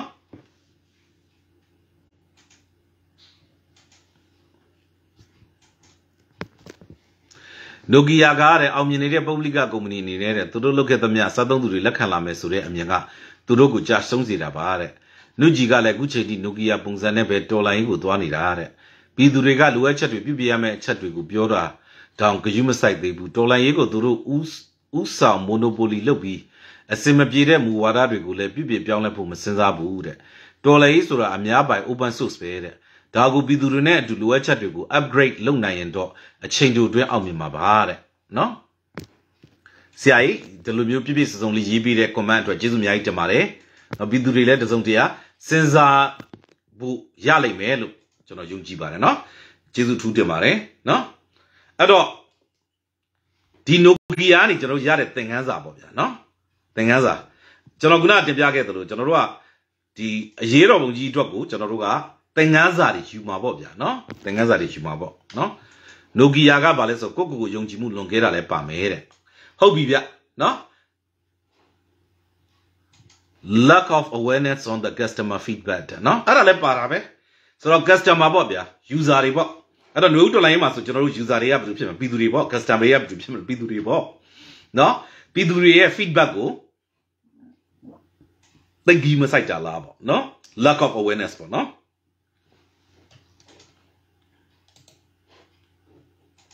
နော်အဲ့လိုမျိုးပေါ့နော်ဆိုတော့ကကျွန်တော်ဆက်သွားမယ်နော်ဆိုတော့ကျွန်တော်တို့ကအရာရာတိုင်းကတကယ်တကယ်ကြတော့အကုန်လုံးကလေဆက်ဆက်လို့ရတယ်နော်ကျွန်တော်တို့ကဒီဘက်ကစီးပွားရေးပညာလေ့လာလားစီမံခန့်ခွဲမှုပညာလေ့လာလေ့လာနော်ခေါင်းဆောင်မှုကိုပဲလေ့လာလေ့လာကိုယ့်ရဲ့ဘဝအတွက်နော်တော်လိုက်ရေးအတွက်အကုန်လုံးဆက်ဆက်လို့ရတယ်ပြောင်းလဲမှုဆိုတာနေ့တိုင်းနေ့တိုင်းမှာပြောင်းလဲနေတာပါတဲ့နော်အခြား software ဂိမ်းတွေနဲ့လွယ်လွယ်ကူကူသုံးဆွဲစနစ်မရှိလို့တဲ့ဟုတ်ကဲ့เนาะကျေးဇူးတင်ပါတယ်အဲ့တော့ကဒါဒီပညာရှင်တွေပြောတဲ့သူတို့ရဲ့ကောက်ချက်၃ခုကိုကျွန်တော်ပြောပြမယ်အဲ့ဒါကတော့နံပါတ်1ကပါလဲဆိုတော့เนาะ Nokia ရဲ့နီးပညာအဆင့်ဟာတဲ့ Apple ကိုမမီခဲ့ဘူးတဲ့เนาะ fail to compete in the smartphone market တဲ့เนาะဟုတ်ကဲ့ပါမနေ့သူတို့မပြောင်းမရှင်းပြနိုင်ခဲ့ဘူးပေါ့เนาะဆိုတော့ technology ပေါ့ဗျာ technology ကို သူတို့ Apple နဲ့မရှင်နိုင်ခဲ့ဘူးပေါ့အဲ့ဒါနံပါတ်1ပေါ့နော်နံပါတ်2ကဘာလဲဆိုတော့တိတ်အရေးကြီးတယ်နော်ဒီနံပါတ်2အချက်ကတော့တိတ်အရေးကြီးတယ်ခုနက technology ဆိုတာကဒါကဒီကျွန်တော်တို့ရုပ်ဝတ္ထုပစ္စည်းပိုင်းကျွန်တော်ဒီလိုပြောလို့ရတယ်နော်ရုပ်ဝတ္ထုပစ္စည်းပိုင်းနော်ဆိုတော့အောင်မြင်မှုများမှာမျောသွားပြီးပြောင်းလဲမှုနဲ့စမ်းသစ်တထွေမှုမရှိတော့တဲ့ smart era ကိုချိန်သွားတာသူ အထင်မကြီးခဲ့ဘူးတဲ့သူလောက်ခဲ့သမျှဖြစ်မယ်ထင်နေတာတဲ့ကိုဒတ်လည်းအဲ့လိုပဲတဲ့နောက်မှလိုက်ပြီးအသေးအံတွေလုပ်ပြီးဝူရှူဝါရှူတွေဖြစ်ပြီးဆုံးဖြတ်ချက်တွေမှားတဲ့ရှင်ပြိုင်မှုမှာဟာနေတာတဲ့ဟုတ်ပြီဗျကျေးဇူးတင်တယ် comment တွေကသိကောင်းတာပဲเนาะအဲ့တော့ကျွန်တော် YouTube ကမိတ်ဆွေလည်း comment ဝိုင်းရေးပေးပါအောင်เนาะနောက်ဒီကျွန်တော်ကပြောဖို့မေ့နေတယ်ရှင်ပြိုင်မှုမှာအားနေတာဟုတ်ပြီကျွန်တော်ဒီ Facebook live တွေ YouTube live တွေများများဝိုင်း share ပေးပါအောင်เนาะများများဝိုင်း share ပေးပါ ကျွန်တော်ဒီနေ့ live ကအရန်အရေးကြီးတဲ့ information တွေပါတယ်အရန်ကိုတမိုးရှိပါတယ်ကျွန်တော်တို့ဘဝမှာလူတိုင်းအတွက်ကိုတစုံတရာသင်ခန်းစာတော့ရလိမ့်မယ်အဲ့တော့နံပါတ်1 technology မှာအားနည်းခဲ့တယ်နော်နံပါတ်2ပိတ်အရေးကြီးတဲ့အချက်ကပါလဲဆိုတော့အထက်ပိုင်းမှာရှိတဲ့ခေါင်းဆောင်တွေ arrogant အရန်ဖြစ်တယ်တဲ့နော်ဆိုတော့အထက်ပိုင်းမှာရှိတဲ့ခေါင်းဆောင်တွေကဘာတူတွေလဲ CEO တို့နော်ကျွန်တော်တို့ board of directors တို့ပိတ်ပြီးတော့ arrogance ဖြစ်တယ် arrogance ဖြစ်တယ်ဆိုတော့ဘာဖြစ်မလဲမမာတယ် မိုက်ရိုင်းနေစင်စင်ကျင်တုံတရားကင်းမဲ့တယ်ပေါ့နော်ဒါမှမဟုတ်ဒေါသကြီးမယ်ပေါ့ဗျာအဲ့လိုပုံစံမျိုးတွေပေါ့နော်အဲ့တော့ပထမဟာတစ်ခုကဗျာလက်ရှိအောင်မြင်မှုကိုမိမ့်မောမနေပဲတဲ့အပေါ်ဘူးအောက်ဘူးထိမ့်မှုလို့မှန်တယ်နော်ပြောင်းလဲတိုးတက်မှုနဲ့ကိုလိုအပြိုင်ဆိုင်ရှိတဲ့ကုမ္ပဏီတွေကိုအလေးနဲ့မထားခဲ့လို့အများကြိုက်ကိုမလိုက်နိုင်ခဲ့လို့ပါတဲ့ ရှင်းပြန်ဟုတ်တယ်နော်အဲ့တော့ခုနကစကားကိုကျွန်တော်ပြန်ပြီးတင်ပြရမယ်ဆိုလို့ရှိရင်နံပါတ်1ချက်က technology ဆိုတာက technology ဒါနည်းပညာဆိုတာကရုပ်ဝတ္ထုပစ္စည်းဒါပေမဲ့နံပါတ်2အချက်လူတွေရဲ့ human factor ပါသွားပြီအဲ့ဒါဘာလဲ top management နဲ့ arrogance ဖြစ်မှုတဲ့ဘလို့စိတ်ဝင်စားဖို့ကောင်းလဲ Nokia ကြရှုံးတာသည်စီလုံးမှုမရှိခြင်းပြဘက်ကိုလေးမထားခြင်းနဲ့ဟုတ်ကဲ့ကျေးဇူးတင်ပါတယ် Nokia ကြရှုံးတာသည်ခုနကနီးပညာတစ်ခုတည်းကြောင့်မဟုတ်ဘူးတဲ့ခုနကထိပ်ပိုင်းမှာရှိတဲ့ top level เนาะသူတို့ပြောတာ top level top level managers တွေသူတို့ရ arrogance အဖြစ်ဖြစ်လို့တဲ့ဥမာဆိုလို့ရှိရင်ဗျာအကြံဉာဏ်လေးလှမ်းပေးတယ်လှမ်းပေးလို့ရှိရင်ဟာဟာပြန်ပေးသလားနော်လှမ်းပြီးတော့အကူကြီးလေးတောင်းတယ် angry emoji ပြန်ပေးသလားဒါစဉ်းစားစရာနော်နောက်ခုနဆရာတယောက်ရေးသွားတယ် open source နောက်ဒီမှာဆရာတယောက်ရေးတယ်စီးလုံးမှုမရှိခြင်းပြောင်းလဲတူးတက်မှု အကုန်လုံးကတော့ဒါ Nokia ရတဲ့သင်ခန်းစာတွေကြီးပဲဒေါ်လာရေးအတွက်ပဲတဲ့စိတ်ဝင်စားတဲ့ဆရာတဲ့ပြောတာကဒေါ်လာရေးအတွက်ပဲတဲ့တဲ့ပဲပြောချလိုက်စက်ကစားโอเคကျေးဇူးတင်ပါတယ်နော်အဲ့ဒါနော်အဲ့တော့နံပါတ်1ဒီသူ့ရဲ့နီးပညာနီးပညာဆိုတာကကျွန်တော်တို့ဒါကရှင်းပြလို့ရတယ်ဒါနံပါတ်2ကဒီခေါင်းဆောင်တွေရဲ့ arrogance ဖြစ်မှုဆိုတာသူတို့ရဲ့ခုနလိုမောက်မာမှုကြမ်းတမ်းမှုအမြင်ကျင်းမှုအဲ့ဒါတွေ ဘယ်လောက်စိတ်ဝင်စားဖို့ကောင်းလဲအဲ့တော့ဒီလောက်တောင်เนาะအောင်မြင်ခဲ့တဲ့ brain တစ်ခုကနေကြာဆုံးမှုကိုဖြစ်စေခဲ့တဲ့အဓိကအချက်ကြီး၃ချက်ထဲကတစ်ချက်ဒီ human factor ကျွန်တော်အဲ့ဒါကိုမိမောင်းထုတ်ပြကြတာအဲ့တော့ခေါင်းဆောင်ပိုင်းမှာဟို top level မှာလုပ်တဲ့ CEO တွေ board of director တွေ BOD တွေက arrogant ဖြစ်လို့တဲ့အဲ့တော့ကျွန်တော်တို့တော်လန်ရေးကြီးမှာ CEO တွေကဘယ်သူတွေဖြစ်မလဲကျွန်တော်တို့ရဲ့တော်လန်ရေးကြီးမှာ top level board of director လို့ခေါ်တဲ့ director အဖွဲ့ဝင်တွေကဘယ်သူတွေဖြစ်မလဲကိုယ့်ဘက်ကိုစဉ်းစား သူတို့တွေကခုနက Nokia တွေကလို့ဖြစ်သလားမဖြစ်သလားကိုယ့်ဘက်ကိုစဉ်းစားနော်ကျွန်တော်ပြည်သူတွေကိုမေးမယ်ပြည်သူတွေဖြေကြည့်နော်နံပါတ်3နံပါတ်3အချက်ကဘာလဲဆိုတော့သူအဓိကနော် Nokia ကြရှုံးရတဲ့အချက်က3ချက်ရှိတယ်နံပါတ်1အချက်က technology နံပါတ်2အချက်က top level management က arrogant ဖြစ်လို့နံပါတ်3အချက်က lack of vision နဲ့ယူပါယုံမရှိဘူးဗျာတဲ့ အမြင်နေမကျဘူးပေါ့ဗျာယူပါယုံမရှိဘူးဗျာတဲ့နော် lack of innovation not upgrading software ဟုတ်ပြီပြောင်းလဲမှုကအောင်မြင်ခြင်းပါပဲအဓိကကတော့ကိုကျွမ်းကျင်ရတစ်ခုနဲ့မိခိုနေရင်သူများကကြော်တက်သွားတာပါပဲအဲ့တော့ဗျာခုနကလော customer feedback ကိုဂီးမဆိုင်တာတွေရှိခဲ့လားเนาะကျွန်တော်တို့ဒေါ်လာရေးကိုလည်းခုနကသုံးချက်နဲ့ပြန်ပြီးတော့ကျွန်တော်ကြည့်ကြည့် technology ကကျွန်တော်ကအမိလိုက်လို့ရတယ်ဘာပဲဖြစ်ဖြစ် သူနဲ့ကိုနဲ့ကြားထဲမှာစစ်တက်တဲ့ကျွန်တော်နဲ့ကြားထဲမှာကတော့သူတို့မှာကတော့ခုနက hardware တွေဖြစ်တဲ့เนาะအမြောက်ကြီးတွေရှိရှိမယ်လေးမြန်တွေရှိရှိမယ်ဒါပေမဲ့ကျွန်တော်တို့မှာ innovation ရှိတယ်စမ်းသစ်တီထွင်မှုရှိတယ် creativity ရှိတယ်เนาะတီထွင်ဖန်တီးနိုင်မှုရှိတယ်เนาะကျွန်တော်တို့ Gen Z တွေလုံးဝကို thinking out of the box เนาะဒီတက်တာရဲ့အပြင်ဘက်ကိုထွက်ပြီးတော့စဉ်းစားတယ် comfort zone မှာပဲမနေနေဘူးကျွန်တော်ຫນွေဥတော်လိုင်းမှာအဲ့ဒါကြီးအားသာချက်တွေဖြစ်နေတာเนาะ အားသာချက်တွေဖြစ်နေတာအဲ့တော့ຫນွေဦးတော်လိုင်းကြီးမှာနိုကီယာဖြစ်နေတာဘာတူလဲကြည့်ကြည့်လိုက်စကားစားဖြစ်နေတာလားမာလာတက်ကဖြစ်နေလားကြည့်ကြည့်လိုက်နော်နော်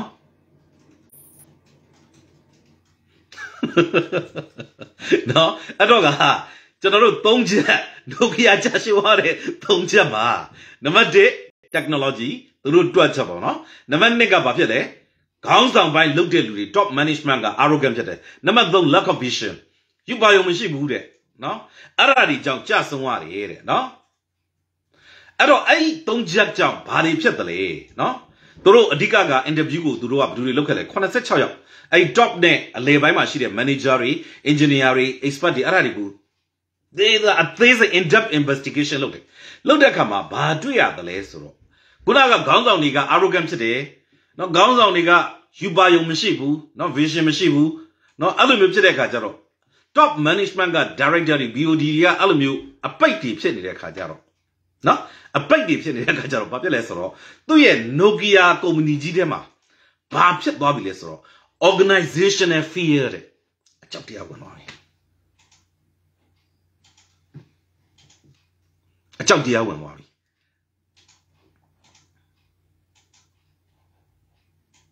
အဲ့တော့အဲ့အကြောက်တရားကဘယ်ကိုဆက်သွားလဲဆိုတော့နော်အပေါ်ပိုင်းကခေါင်းဆောင်တွေက arrogant ဖြစ်တယ်အဲ့တော့ဘာဖြစ်သွားလဲအဲ့ organization အဲ့အဖွဲ့ထဲမှာအကြောက်တရားဝင်သွားပြီအဲ့အကြောက်တရားကဘယ်ကိုဆက်ပို့လိုက်လဲဆိုတော့အဲ့ဒီခေါင်းဆောင်တွေကြားထဲမှာနော်ခုတစ်မျိုးတော်ကြတစ်မျိုးပြောတဲ့လူတွေအကြောက်တရားကိုလက်ကင်ထားတဲ့အလဲပိုင်းမှာရှိတဲ့စိတ်ကြီးဝင်လာတယ်နော်အလဲပိုင်းမှာရှိတဲ့သူတွေအကြောက်တရားတွေဘလို့အကြောက်တရားတွေလဲ တော်ကြနေရှိသမျှလူတွေကဒလန်ဒလန်ဆိုတဲ့အကြောက်တရားတွေဝင်ကုန်တာလားတော်ကြနေဟာအင်အားတွေပြိုကွဲတော့မယ်ဆိုတဲ့အကြောက်တရားတွေဝင်ကုန်တာလားဒါခုပေါ့စဉ်းစားဒါပေမဲ့အပေါ်ပိုင်းကခေါင်းဆောင်မှု arrogant ဖြစ်တဲ့အခါကျတော့နော် arrogant ဆိုတာကဗျာထားပါတော့စက်သွယ်တိုင်းဘယ်တော့ပဲဆက်ဆက်နော်ဘယ်တော့မှဆက်သွယ်လို့မရတာစာဘလောက်ပဲဆက်ဆက်စာဘလောက်ပဲပုပုနော်စာပြတ်မလာတာဒါမှမဟုတ်ရှင်ကျွန်တော်တို့ တော့ဥစား UG ဖွဲ့အဖြစ်ဖြစ် LDF ကဖြစ်ဖြစ်ကျွန်တော်တို့ register လုပ်ချင်လို့ပါဆိုလို့ရှိရင်6လနေတဲ့အထိကိုအကြိမ်ကြိမ် volleyball တွေပုံနေတဲ့ဟာမျိုးလားနော်ဒီလိုမျိုးပေါ့ဗျစဉ်းစားပါနော်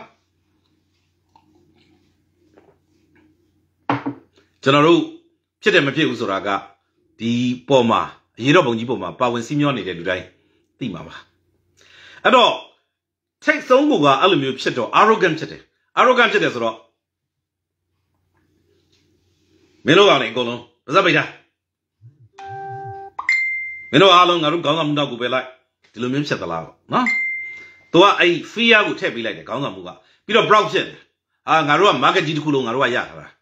အဲ့တော့ကျွန်တော်တို့ကတော်လိုင်း market ဆိုလို့ရှိရင်ဟာငါတို့ပြည်သူတွေအကုန်လုံးကငါတို့ထောက်ခံနေတာပေါ့ဒါတော်လိုင်း market ကြီးပေါ့နော်အဲ့လိုမျိုးရအဲ့လိုဖြစ်တဲ့အချိန်မှာ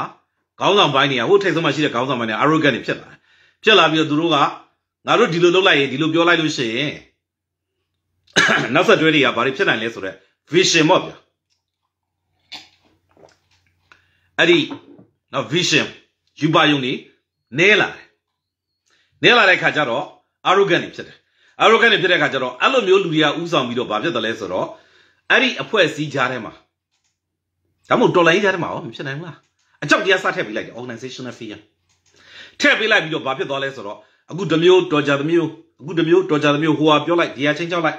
ဟိုဟာဒေါသထွက်လိုက်ဟိုဟာဆွဆွလိုက်ငါပြောသလိုလို့ငါလုပ်သလိုမလုပ်နဲ့ပြောလိုက်ဟုတ်လားအဲ့လိုမျိုးတွေဖြစ်လာလားပေါ့အမျော်မြင်နေပါမှုကလည်းတဲ့မြန်မာမှာခက်ဆက်ဆက်ဖြစ်လာတဲ့ပြဿနာတစ်ခုပဲတဲ့နော်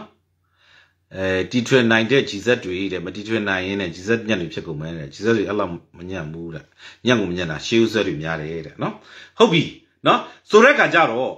အဲ့ဒီအကြောက်တရားကဘာဖြစ်တယ်လဲတော်ကြနေဟိုလူပြောလိုက်တော်ကြနေဟိုဟာလုံးမယ်ပြောလိုက်နော်မနေ့ကတမျိုးပြောလိုက်ဒီနေ့တမျိုးပြောလိုက်နောက်နေ့မှတမျိုးပြောလိုက်ဒီလိုမျိုးလုပ်မှာလားဒါမှမဟုတ်ရှင်ပြောတဲ့စကားတိုင်းပဲတီအောင်ဆက်ထိန်ပြီးတော့တဆင်ချင်းတရချင်းကိုကောင်းကောင်းလေးလွတ်ပြသွားမှာလားပေါ့နော်အဲ့တော့အပြောင်းလဲမြန်တဲ့စကားကိုအမျိုးမျိုးပြောတဲ့ခေါင်းဆောင်ကြီး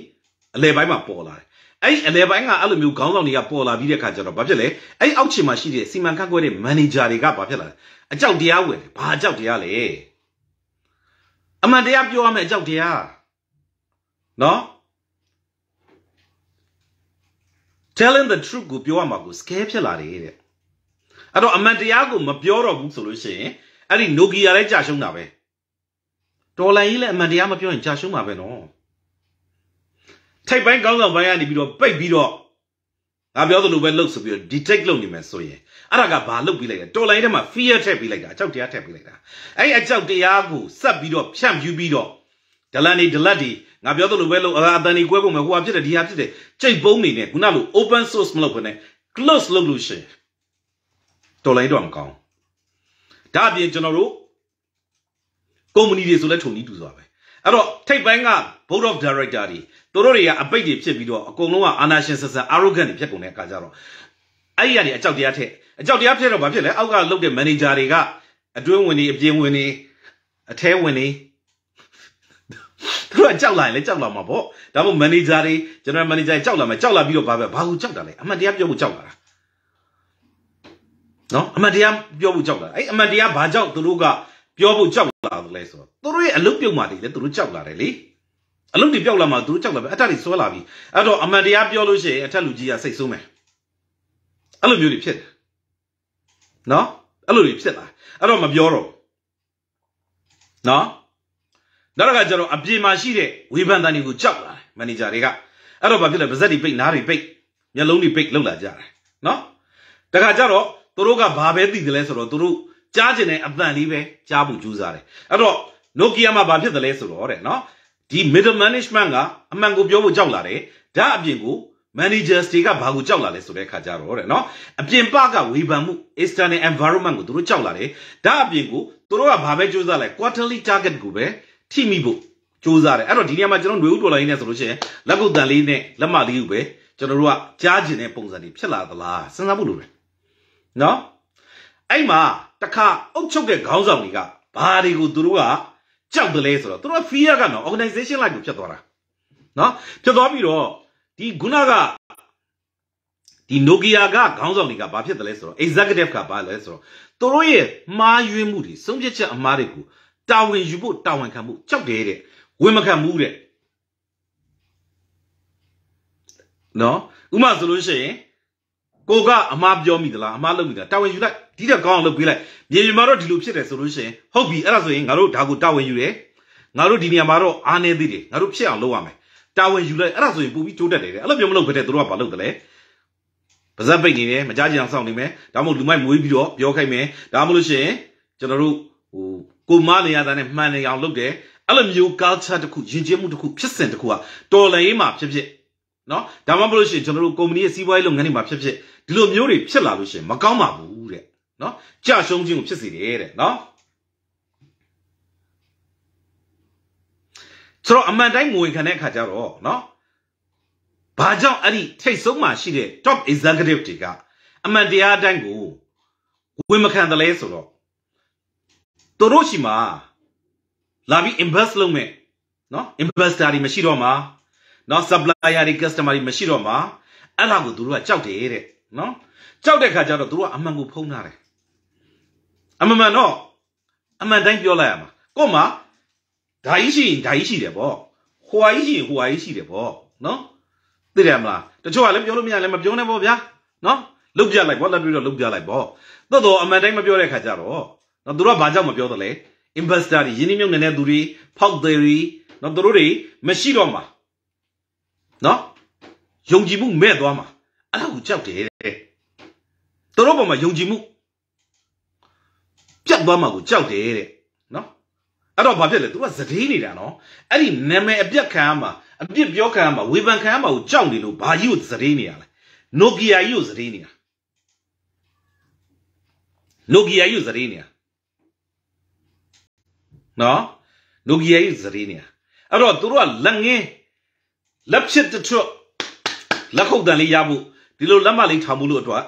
နိုကီယာကြီးရဲ့ long term ကိုသတိနေအဲ့ဒါကြောင့်မလို့ ကြဆုံးခြင်းသုံးချက်မှာနံပါတ်1 technology နံပါတ်2က arrogant leaders နံပါတ်3က vision မရှိဘူးတဲ့အဲ့ဒါကိုပြောတာအဲ့တော့ကြည့်ကြည့်လက်တွေ့လောလောဆယ်မှာအမားရှိတယ်အားနေချက်ရှိတာကိုအတိမပြုတ်ပြီးတော့ပြင်လိုက်မယ်ဝန်ခံလိုက်မယ်ပူပေါင်းပြီးဆောင်ရွက်လိုက်မယ်ဆိုရင်နော်ဆိုရင်ပို့ပြီးတော့အောင်မြင်ရမယ်အစားအဲ့လိုမျိုးမဟုတ်ဘဲနဲ့ဘာဖြစ်သွားလဲဆိုတော့အဲ့ဒါကိုဖုံးဖို့ကြိုးစားတယ်အဲ့တော့ဗျာအနာရှိရင်ကြိတ်ပြီးတော့စေးနီကြီးနဲ့ငန်းစေးကြီးနဲ့ ကုဖို့ကြိုးစားတယ်ပြည်ကိုဖောက်ထုတ်ဖို့မကြိုးစားဘူးနော်ဒါမှမဟုတ်ရှိရင်လည်းကျွန်တော်တို့မကောင်းရင်မကောင်းတဲ့နေရာဖြတ်ထုတ်ဖို့မစဉ်းစားဘူးနော်လိုအပ်တဲ့နေရာကွဲပြဲတွေရှိချုပ်ဖို့မစဉ်းစားဘူးဘာလုပ်တယ်လဲလူမြင်မှဆိုလို့လူမြင်လို့ရှိရင်အပေါ်ကနေပြီးတော့မိတ်ကလေးလိမ့်ထားတဲ့မျက်နာကသိရမလားဟိုဆိုတာအလှပတွေပြက်ကုန်မှဆိုလို့ယုံကြည်မှုပြက်ကုန်မှဆိုလို့ပလတ်စတာနဲ့ဖာတယ်နော်ဆိုလိုဒိတ်နဲ့ဖာတယ်နော်နောက်ဆုံးတနခါနဲ့ဖာတယ်မိတ်ကက်နဲ့ဖာတယ်ဖာတာတွေများပြီးတော့နော်အဲ့လိုဖာတရားတွေပြက်လုပ်တဲ့ခါကျတော့ လောလောဆယ်ခဏတော့ဟုတ်တယ်လို့လူပဲမမြင်ရဘူးလीဒါပေမဲ့ရေရှည်ကြတော့နော်ဘာတွေဖြစ်သွားသလဲနိုကီယာတစ်ခုလုံးကြာရှုံးသွားတယ်နိုကီယာကြီးကြာရှုံးသွားတယ်အဲ့ဒါကဘာလဲဆိုတော့ဒီလိုမျိုး short sighted ဖြစ်ခဲ့လို့နော် long term value ကိုမကြည့်ဘဲနဲ့ short sighted ဖြစ်တဲ့အခါမှာအဲ့လိုမျိုးဖြစ်သွားတာနော်အဲ့ဒါကိုလည်းတွေ့ရတယ်တဲ့နော်နောက်တစ်ခုကဘာလဲဆိုတော့သူကသူ့ရဲ့ အဖွဲ့အစည်းမှာက organizational fear ဖြစ်သွားပြီဖြစ်သွားပြီဆိုတော့အစစ်စစ်ကြားထဲမှာဘယ်လိုဖြစ်လဲအကြောက်တရားတွေထည့်ပေးလိုက်တယ်အကြောက်တရားတွေထည့်ပြီးတော့အထက်ကနေပြီးတော့အထက်ဖားအောက်ဖိခုနကဆရာတယောက်ပြောတာသိမှန်တယ် YouTube ကဆရာတယောက်เนาะအပေါ်မီးအောက်မီးတွေဖြစ်ကုန်တာတဲ့ဘေးမုံဖုတ်တယ်လို့ပဲတဲ့ဟုတ်တယ်เนาะအထက်ဖားအောက်ဖိတွေနဲ့အဲ့ဒီကာချာကြီးเนาะအဲ့ကာချာကြီးဖြစ်ဖြစ်နေကျွန်တော် live ကဘယ်ချိန်ဖြစ်လို့လဲကျွန်တော်ကဒီလိုပြကျွန်တော်ကဗျာဟို တပတ်တပတ်မှာဘယ်ချိန်မှာအားပြီးဘယ်ချိန်မှာအားမလဲဆိုတော့ကျွန်တော်ကြိုမသိဘူးကျွန်တော်ကြိုမသိဘာလို့ဆိုတော့ကျွန်တော်လုပ်တဲ့အလုပ်တွေကကျွန်တော် customer တွေအများကြီးနဲ့လုပ်ရတဲ့ဟာဆိုတဲ့အခါကျတော့သူတို့တွေနဲ့ကျွန်တော်တို့ကညှိရတယ်ညှိပြီးတဲ့အခါကျတော့သူတို့နဲ့ကျွန်တော်နဲ့ညှိပြီးကျွန်တော်အားတဲ့အချိန်သူတို့အားတဲ့အချိန်နဲ့အဲ့လိုမျိုးညှိပြီးလုပ်ရတဲ့ဟာကြီးရှိတဲ့အခါကျတော့ကျွန်တော်အားကြောင့်မလို့အချိန်ကိုအတိအကျကြိုကျင်ညာလို့မရတာကျွန်တော်အားကြောင့်မလို့အစဉ်ပြေတဲ့အချိန်မှာကျွန်တော်တက်နေရတဲ့သဘောအဲ့တော့တကယ်လို့များကျွန်တော် live လေးတွေကိုစဉ်ဆက်မပြတ်နော်အကျိုးရှိတယ်လို့ထင်လို့နော်စဉ်ဆက်မပြတ်လေး ကျွန်တော်တို့ဟိုနားထောင်မယ်အပြန်အလှန်ဆွေးနွေးကြတယ်ဆိုလို့ရှိရင်ဟို subscribe လေးလုပ်ထားလိုက်ပါ like and follow လေးလုပ်ထားလိုက်ပါပြီးတော့ကျွန်တော်ရဲ့ဒီဟိုဟာပေါ့ဗျာ Facebook page တွေမပြတ်ကျသွားအောင်လို့เนาะ recommendation လေးဝိုင်းပြီးရေးပေးပါဝိုင်း share ပေးပါပါเนาะဆိုတော့ကျွန်တော်ကကြူပြီးတော့အဲ့လိုမျိုးပြောလို့မရဘူးဗျကျွန်တော်ရဲ့အလုပ်သဘောအရာလေးเนาะအဲ့လိုမျိုးဖြစ်နေလို့ပါเนาะအဲ့ဒါလေးကိုလည်းကျွန်တော်တင်ပြပေးခြင်းပါတယ်เนาะအဲ့တော့ ခုနစကားကိုကျွန်တော်ပြန်ဆက်အောင်အဲ့တော့ထိတ်ဆုံးကကူကအဲ့လိုမျိုးဖြစ်နေတယ်နော်အကြောက်တရားတွေနဲ့ arrogant ဖြစ်တယ်အာမန်မာနာတွေထောက်ထားပြီးတော့မောက်ကြွားပြီးတော့လောလောဆယ်ရှိတဲ့ customer အာလောလောဆယ်တက္ကရာ2003ကြည့်လိုက်ဟာကဘာပေါ်မှာငါလိုနိုကီယာရှိသေးလားကွနော်တကဘာလုံးက market တွေအကုန်လုံးငါတို့ကစိုးမိုးထားတာငါတို့ဘယ်ကောင်ရှင်းနိုင်မှာလဲအဲ့လိုအတွေးတွေနဲ့ရှိခဲ့ကြတယ် arrogant ဖြစ်ခဲ့ကြတယ် နော်စံသက်တီထွင်မှုနဲ့တီထွင်စံသက်မှုတွေမလုပ်ခဲ့ကြဘူး customer တွေရဲ့အသုံးကိုအပြောကိုနားမထောင်ခဲ့ဘူး customer တွေကပြောတယ်ဒါကြီးကဒီလိုမကြိုက်ဘူးဒါကတော့ဟိုလိုဖြစ်တဲ့နဲ့ arrogant နားပိတ်ထားတယ်ပြောတဲ့လူတွေကိုမင်းတို့ကောင်တွေကဘယ်လောက်သိလို့လဲဆိုပြီးတော့ဆွဆွဲတယ်နော် arrogant ဖြစ်တယ်အဲ့ဒီထိတ်ဆုံးက arrogant ဖြစ်ပြီးတော့နော်ကြမ်းတမ်းတယ်ပေါ့ဗျာနော်အဲ့လိုမျိုးဖြစ်ပြီးတော့ အလဲပိုင်းကိုချပေးလိုက်တယ်အလဲပိုင်းမှာလည်းထုံနီးသွားပဲအထက်ကိုဖားတယ်အောက်ကိုဖိတယ်အထက်ကိုဖားတယ်အောက်ကိုဖိတယ်ဒါမျိုးတွေလာတယ်အဲ့ဒီကနေပြီးတော့ဆက်ပြီးတော့စင့်ပွားစင့်ပွားနဲ့သွားလိုက်တာနောက်ဆုံးကျတော့ Nokia တစ်ဖွဲ့လုံးမှာ organizational fear အဲ့တော့ဘာဖြစ်လဲအဲ့မှာလုံနေတဲ့ managers တွေကသူတို့က frightened ဖြစ်လာတယ် scared of telling the truth အမှန်ကိုပြောရမှာကြောက်လာတယ်မပြောတော့ဘူးမပြောတော့အမှန်တရားကိုမကြားတော့ဘူးမသိတော့ဘူးဆိုကြတဲ့ကသွားပြီနော် အဲ့တော့ဒီအချိန်မှာကျွန်တော်တို့တွေဖာဖို့ဖုံးဖို့ဖိဖို့ဖားဖို့လုပ်နေတဲ့ပုံကိုယ်တွေတိတ်သတိထားပါနော်တိတ်သတိထားပါကျွန်တော်တို့လိုအပ်တဲ့လောက်ကတော့လှုပ်ဝက်ထားရမယ်ဆိုတော့ကျွန်တော်နားလဲပါတယ်တိုးတော်လေအနာရီပါရှိရင်ဖွင့်ကူတာပိုကောင်းတယ်ပြည်ရှိရင်ဖောက်ထုတ်ပလိုက်ချုပ်เสียရှိရင်ချုပ်ပလိုက်မကောင်းရင်ဖြတ်ထုတ်ပလိုက်ဒီမို့ရေးရှိမကောင်းမအဲ့ဒါလေးကိုလည်းကျွန်တော်တင်ပြချင်တယ်အဲ့တော့ဘာဖြစ်သလဲဆိုတော့ဗျာ အလဲကောင်မှာရှိတဲ့ middle management ကတကယ်ကြောင်တိတ်အရေးကြီးတာအဲ့တော့ကျွန်တော်တို့ကကြည့်မယ်ဗျာကြည့်မယ်ဆိုလို့ရှိရင်ကျွန်တော်တို့ဒါຫນွေဦးတော်လည်းရေးနဲ့ညင်ကြည့်လိုက်ညင်ကြည့်လိုက်လို့ရှိရင်ထိတ်ဆုံးက top management ကကျွန်တော်တို့ဝင်ကြီးတွေဝင်လေးတွေဝင်မလေးတလေးတွေဖြစ်မယ်အောက်ပိုင်းမှာ middle management ရှိမယ်အလယ်ပိုင်းမှာ middle management ရှိမယ်အဲ့ဒါကြီးအတွင်းဝင်တွေအထက်ဝင်တွေအပြင်ဝင်တွေအဲ့ဒါကြီးဖြစ်မယ်နော် middle management ဒါအပြင်ကိုကျွန်တော်တို့ဟိုကျွန်တော်တို့ဟိုဟိုမြို့နယ်အဆင့်တွေမှာရှိတဲ့နော် ဟိုကောင်းဆောင်ဒီကောင်းဆောင်တွေဖြစ်ဖို့ middle management တွေတကယ်တကယ်ကျတော့ middle management တွေကတိတ်အရေးကြီးတာအဲ့ဒါကြီး manager ကောင်းတွေဖြစ်ဖို့လိုတယ်အဲ့ဒီ middle management တွေကနော် middle management တွေက manager ကောင်းတွေမဟုတ်ဘူးအရေးချင်းတွေလိုတယ်ဆိုလို့ရှိရင်အဲ့တော်လည်းကြီးကဒါမှမဟုတ်အဲ့ကုမ္ပဏီကြီးကတိတ်ကြောက်ဖို့ကောင်းတယ်အဲ့တော့ခေါင်းဆောင်က visionary visionary leadership ဖြစ်ဖို့လိုတယ်ဆိုလိုချင်တာအမျှော်မြင်ရှိဖို့လိုတယ်အဲ့လိုဖြစ်တဲ့အချိန်မှာလေကောင်မှာရှိတဲ့ middle management ကလေကောင်မှာရှိတဲ့ manager တွေက manager ကောင်းအရေးသူတွေရှိဖို့လိုတယ်အဲ့တော့ဘာဖြစ်လဲအပေါ်ကခေါင်းဆောင်ကြီးကအမှားမကြားခြင်းဘူးဘာမှမပြောခြင်းဘူးဒီလိုမျိုးပြောတဲ့အခါကျတော့ intimidated ဖြစ်သွားတယ်အလဲကောင်မှာရှိတဲ့ခေါင်းဆောင်မှုပိုင်းတွေကဘာပြောတော့လဲဆိုတော့ကြောက်ပြီးတော့မပြောရတော့ဘူးအမှားလုံးမှာပဲသူတို့ကြောက်နေတယ်အမှန်တရားပြောလို့ရှိရင်ဒလန်လို့အဆွဆွဲခံရမှာဟဲ့စကားတွေမှားကုန်အမှန်တရားပြောလို့ရှိရင်ယာလူပြုံမှာသူတို့ကကြောက်တယ် ဆိုတဲ့အခါကျတော့ middle management ကတိတ်ပြီးတော့ဘာမှမပြောတော့နော်အဲ့လိုမျိုးထားလိုက်တယ်အဲ့တော့မလုံမရှုပ်မပြုတ်ဆိုတဲ့ culture နောက်တစ်ခါဘာ culture ဖြစ်လာလဲဆိုတော့အထက်ဖာအောက်ဖိအထက်ဖာအောက်ဖိအထက်ဖာဖောက်ဖိပြီးတော့ဖုံးဖာဖိဖာဖောင်းပြီးနောက်ဆုံးပြပါနော်အဲ့တော့ top management ကို middle management ကလိမ့်တယ် middle management ကိုဟိုးအောက်ခြေက management ကလိမ့်တယ်အချင်းအချင်းချင်းလိမ့်နဲ့လိမ့်နဲ့လိမ့်နဲ့လိမ့်နဲ့ဟာအဲ့တော့ကျွန်တော်ကြည့်ကြည့်လိုက်ဒီ Nokia လောက်ကားချကြီးရဘယ်လိုဖြစ်နေတာမအားလားလို့ဖြစ်နေတာမလား နော်ကြည့်ကြည့်လိုက်စစ်တပ်ကအဲ့ဒါပဲကြည့်ကြည့်လိုက်အောက်ခြေအဆင့်ကနေစပြီးလိမ့်နဲ့ကားချကြီးအဲ့ဒါမြန်မာစစ်တပ်ပဲနော်သူတို့မှစစ်သားမရှိတော့တဲ့ဟာကြီးစစ်သားရှိတယ်ဆိုပြီးတော့လိမ့်နေ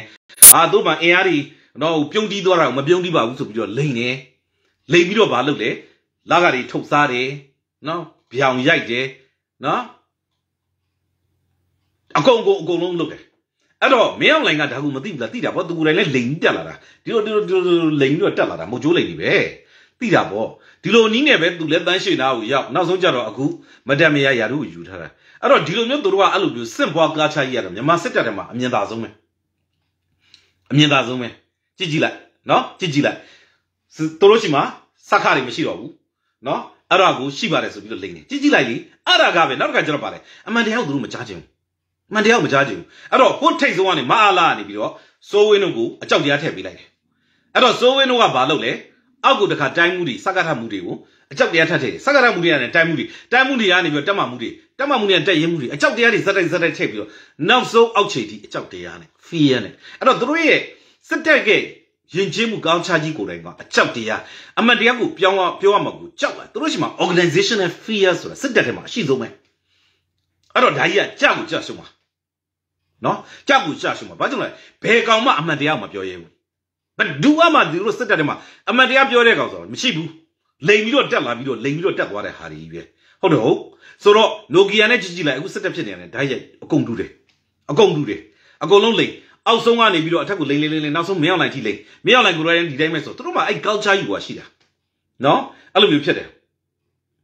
နောက်တစ်ခါကျတော့ဘာဖြစ်သလဲဆိုတော့ထိတ်ဆုံးကခေါင်းဆောင်တွေကနော်မြေပြင်နဲ့ထိတွေ့မှုမရှိဘူးနော်နောက်တစ်ခါကျတော့နီးပညာအသက်တွေကိုသူတို့မသိဘူးနော်မသိတဲ့အခါကျတော့ မအားလာလို့ပေါ့ဗျာနော်မသိဘူးမသိတဲ့အခါကျတော့အရာရာကိုသူတို့ကလေကြီးထိုးရိုးရိုးပေါ့ရှေးရိုးဆွဲပေါ့အဲ့ပုံစံမျိုးနဲ့သွားတယ်ပေါ့ဗျာနော်ဆိုတဲ့အခါကျတော့အဲ့လိုမျိုးတွေနဲ့ဖြစ်တယ်ဖြစ်တဲ့အခါကျတော့ဒါကျွန်တော်တို့လူဦးတော်လေးဘက်ကပဲကြည့်ကြည့်စစ်တပ်ဘက်ကအာဏာချက်ကိုပဲကြည့်ကြည့်ဒါမှမဟုတ်လို့ရှိရင်လည်းကျွန်တော်တို့ရဲ့ကိုယ့်ရဲ့နော်ကျွန်တော်တို့ဒီကိုယ့်ရဲ့ဒီကျွန်တော်တို့ရဲ့စီးပွားရေးလုပ်ငန်းမဟုတ်ပဲကြည့်ကြည့်တစုံတရာတော့သင်ခန်းစာရမှာပါနော် အဲ့ဒါလေးအဲ့တော့ဘာဖြစ်တယ်လဲဆိုတော့တဲ့နော်အဲ့လိုမျိုးကြီးတွေပိတ်တဲ့နော်ဂျန်လီတွေနော် arrogant ဖြစ်တဲ့ခေါင်းဆောင်ကြီးတွေကရှိတဲ့အခါကြတော့တဲ့သူတို့ကဒီတိုးတက်ပြောင်းလဲမှုကို innovation ဆိုတဲ့စမ်းသပ်တည်ထွင်မှုနော်နောက်ကကျတော့ဒီဘက်က thinking out of the box တွေကိုမလုပ်တော့ဘဲနဲ့လက်တလောလက်ဖြစ်တွတ်ပြီးတော့လက်ပူတိုက်ပြီးတော့ဒဏ်ရာကိုပေါ်မှာနော်ခုနကပြည်တယ်နေတာကိုအပေါ်ကနေ make လေးလိမ့်ပြီးတော့ဖာဖို့ကြိုးစားပြီးတော့ ရေရှည်ပြောင်းလဲဖို့ပြင်ဆင်ဖို့မလုပ်တော့ဘူးတဲ့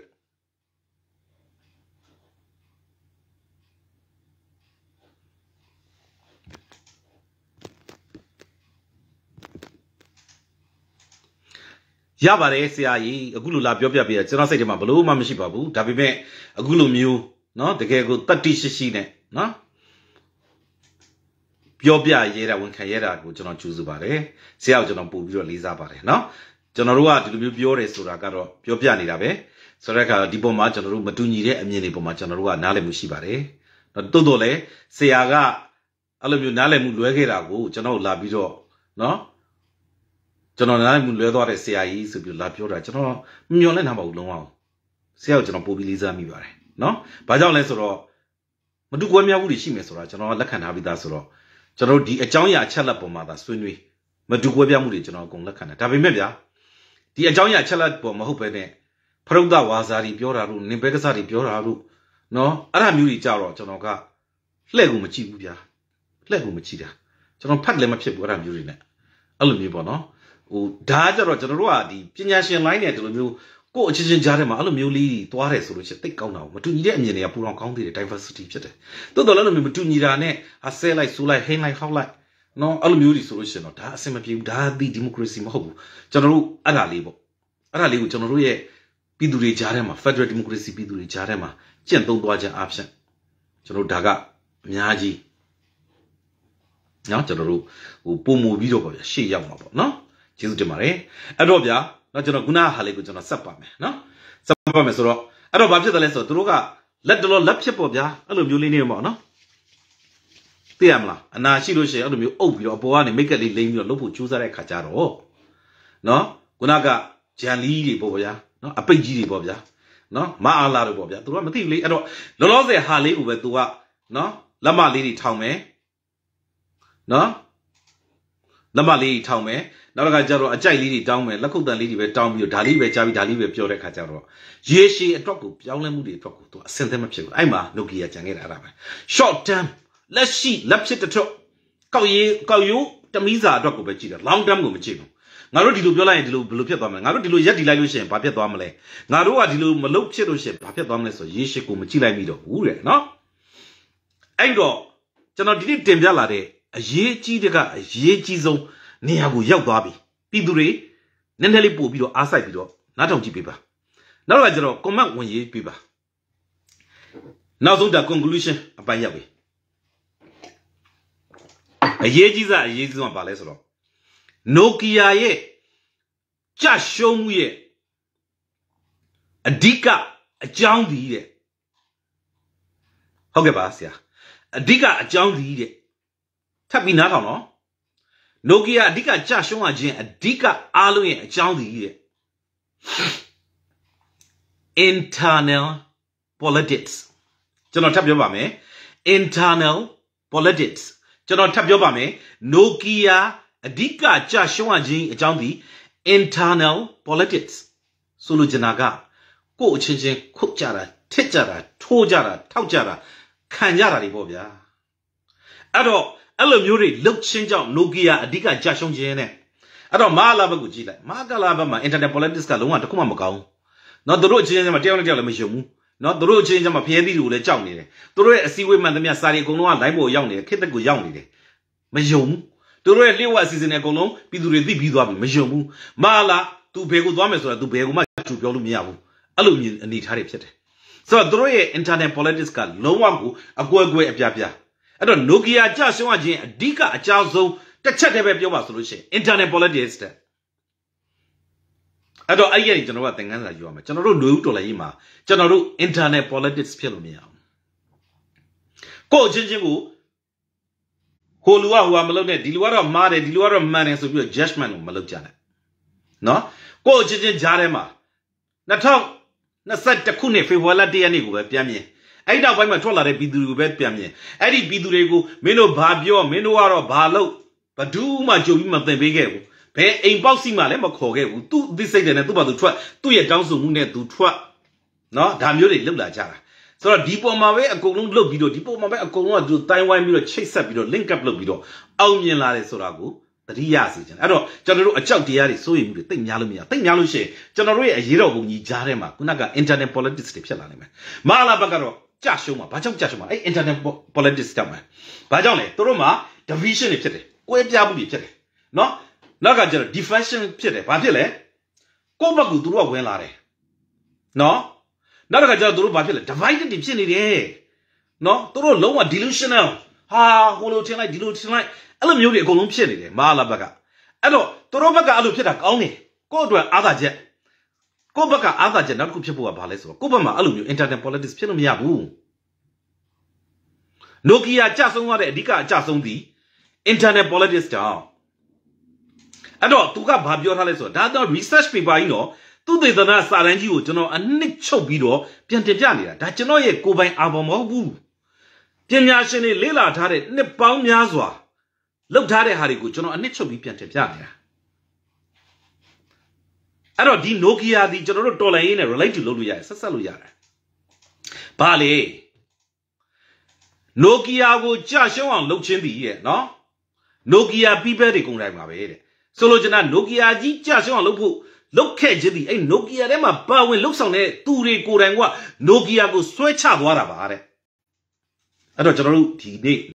လူတော်လိုင်းမှာတိတ်အရေးကြီးတယ်တိတ်သတိထားဖို့လိုတာကကျွန်တော်တို့ဒီတော်လိုင်းရေးကြီးမှာပါဝင်နေတဲ့သူတွေကဒီတော်လိုင်းရေးကြီးကိုပြန်ပြီးတော့ဆွဲမချမိဖို့လိုတယ်နော်အဲ့မှာသူသုံးထားတာ Nokia people weekends Nokia people and thus made the company increasingly နော်အကြောက်တရားတွေ Nokia မှာလုတ်တဲ့လူတွေမအားလာထဲမှာရှိတဲ့ကောင်တွေကပဲမအားလာကိုဆွဲချသွားမှာမြန်မာဖက်စစ်အကြံဖက်စစ်တပ်ကိုဆွဲချသွားမှာသူ့တက်ထဲကအကောင်တွေပဲသူတို့ပဲဘာကြောင့်လဲသူတို့မှာတန်တရားတွေရှိတယ်အကြောက်တရားတွေရှိတယ်မယုံကြည်မှုတွေရှိတယ်နော်သူတို့မှာအချင်းချင်းအားပြိုင်မှုတွေရှိတယ်စိုးဝင်းရဲ့အဖွဲ့ရလားအောင်လေးတွေးရဲ့အဖွဲ့ရလား မအားလာရဲ့အဖွဲ့ရလားခင်ညွန့်လူလားတန်းရွှေလူလားရွှေမန်းလူလားသူတို့ကြားထဲမှာရှိတယ်အဲ့တော့ကိုယ့်ဘက်မှာယုံကြည်မှုတည်ဆောက်အောင်မှန်တယ်တန်တရားတွေဝင်အောင်ဖြစ်ခဲ့တဲ့အကြောင်းအရာတွေရှိတယ်အဲ့ဒါတွေကိုကျွန်တော်တို့မှန်ကန်အောင်ပြန်တည်ဆောက်အောင်ကွဲခဲ့တာတွေရှိတယ်ပြဲခဲ့တာတွေရှိတယ်ပြန်ပြီးတော့ချုပ်ရအောင်မကောင်းတာတွေကိုဖြတ်ထုတ်ပလိုက်ပြည်တွေရှိရင်ဖောက်ထုတ်ပလိုက်အားနေချက်ရှိဟုတ်တယ်ဒါကတော့အားနေသွားတယ်ဟုတ်ပြီ ငါတို့ဒီတက်ပို့ပြီးတော့ကောင်းအောင်လုပ်မယ်ဆိုပြီးတော့ customer တွေပြည်သူတွေရဲ့ယုံကြည်မှုကိုယူလိုက်ယူလိုက်ပြီးတော့အဲ့ဒီအတိုင်းကိုဖြစ်အောင်လုပ်သေချာတာတခုကတော့ရက်နေလို့မရရက်နေလိုက်လို့ရှင်ပြန်ကြသွားပြီကျွန်တော်တို့ကတိုးရတိုးရရှေ့ရသွားပြီ innovative way တွေနဲ့သွားမှာဒီပုံစံတိုင်းပဲပုံစံတူသွားနေလို့ရှင်ရန်သူကကိုလုံးမဲ့အကွက်ကိုမြင်နေပြီအဲ့တော့အခုကျွန်တော်တို့တွေ့ပါတယ် February လတရက်နေ့နော်အတန်တိတ်တပိတ်နော် ပါဝင်နိုင်သူများပါဝင်ပေးပါအနေရလွတ်ကင်းအောင်နော်ရှင်တောင်နေပါလုံကြုံအောင်နေပါကျမ်းမအောင်နေပါဒါပေမဲ့တခုရှိတယ်တစ်ဆက်တည်းကျွန်တော်တင်ပြချင်တာကဒီအတန်တိတ်တပိတ်တွေကရှေ့မှာကျွန်တော်တို့အကျင့်ကြီးလုတ်ခဲ့ကြပြီးပြီရန်သူကလည်းဒီပေါ်မှာဘလို့တုံ့ပြန်မလဲဆိုတာစဉ်းစားပြီးလောက်ပြီအဲ့တော့ကျွန်တော်ကနောက်နောက်လေးကိုအကြံပြုတင်ပြချင်တာကျွန်တော်တယောက်တည်းအမြင်နဲ့ ရန်သူစဉ်းစားလို့မရတဲ့နီလန်းနဲ့ innovative ချင်းကပ်မှုလေးတွေစဉ်းစားစေချင်တယ်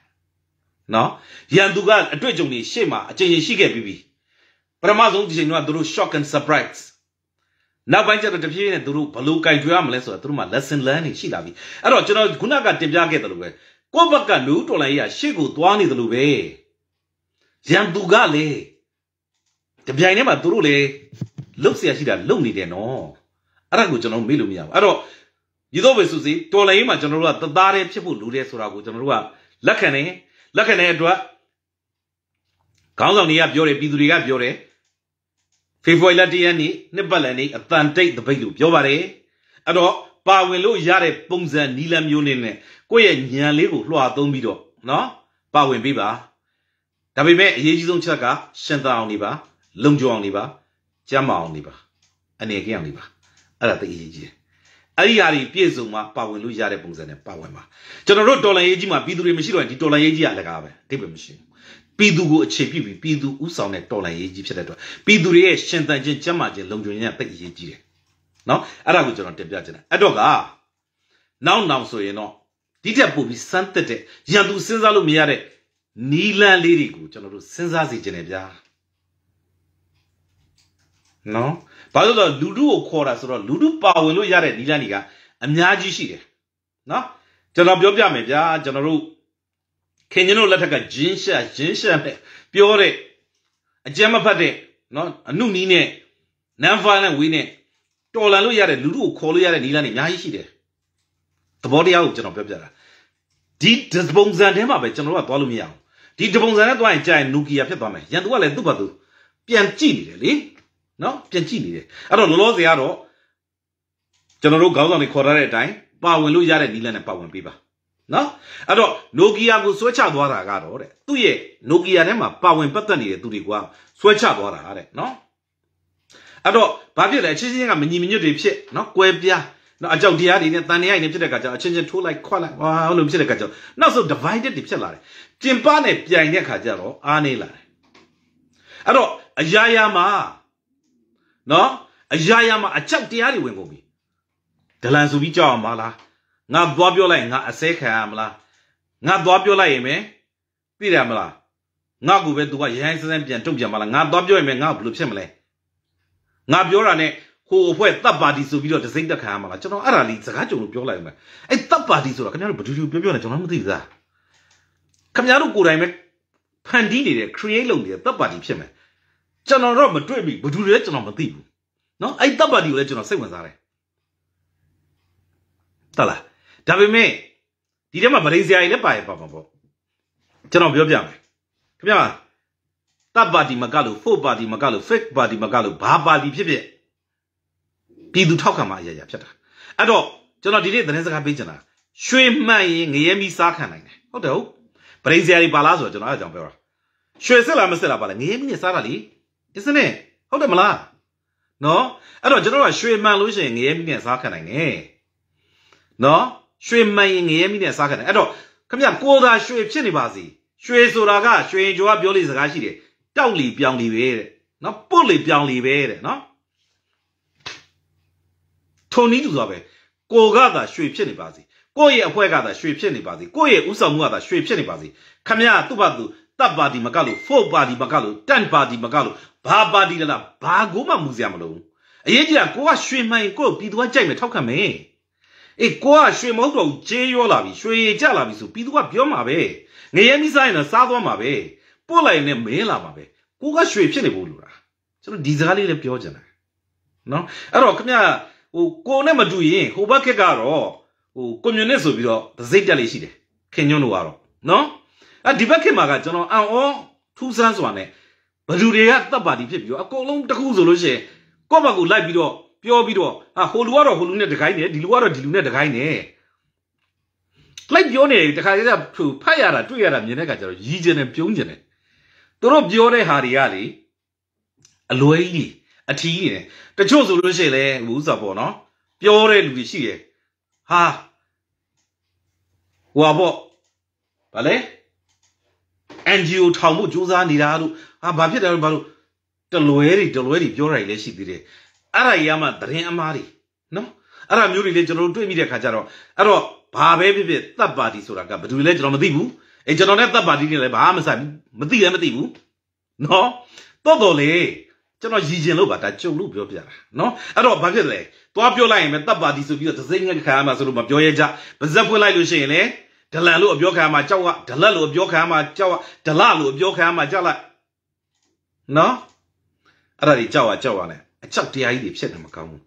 နောက်တစ်ခါကျတော့ကျွန်တော်တို့တခုခုကိုတိုက်ခိုက်မယ်ဆိုလို့ရှိရင်ဟိုဘက်ကကျွန်တော်တို့ဟိုကောင်ဘူးလဲဗျာရည်တယ်ပြဆက်လို့ပြောကြတာနော်အကောင်ရှီကဟာကြီးတွေတွားတွားယူပြီးတော့ကို့ရှီမှာဆွတ်ဆွဲကြတိုက်ခိုက်ကြပြီးလို့ရှိရင်အဲ့ကောင်ဟာကိုပြန်ပြီးတော့ကို့ချင်းချင်းမှာ promote လုပ်နေတယ်လို့ပဲနော်အမှန်တို့ကိုက SP လောက်ထားမှာမဟုတ်ဘူးလားတို့ပေါ်လာပြီဆိုလို့ရှိရင်ကိုက report ထုတ်ပေးရမှာမဟုတ်ဘူးလား ဒါပေမဲ့အဲ့ဒါကြီးယူပြီးတော့အဲ့ဒါကြီးကိုအထောက်ထားနေတဲ့သုံးသုံးပြီးတော့ဟာပြန်ပြီးတော့လောက်ကြဆိုဒါလေးလေကျွန်တော်တို့စင်ကျင်လို့ရအောင်လို့ပါ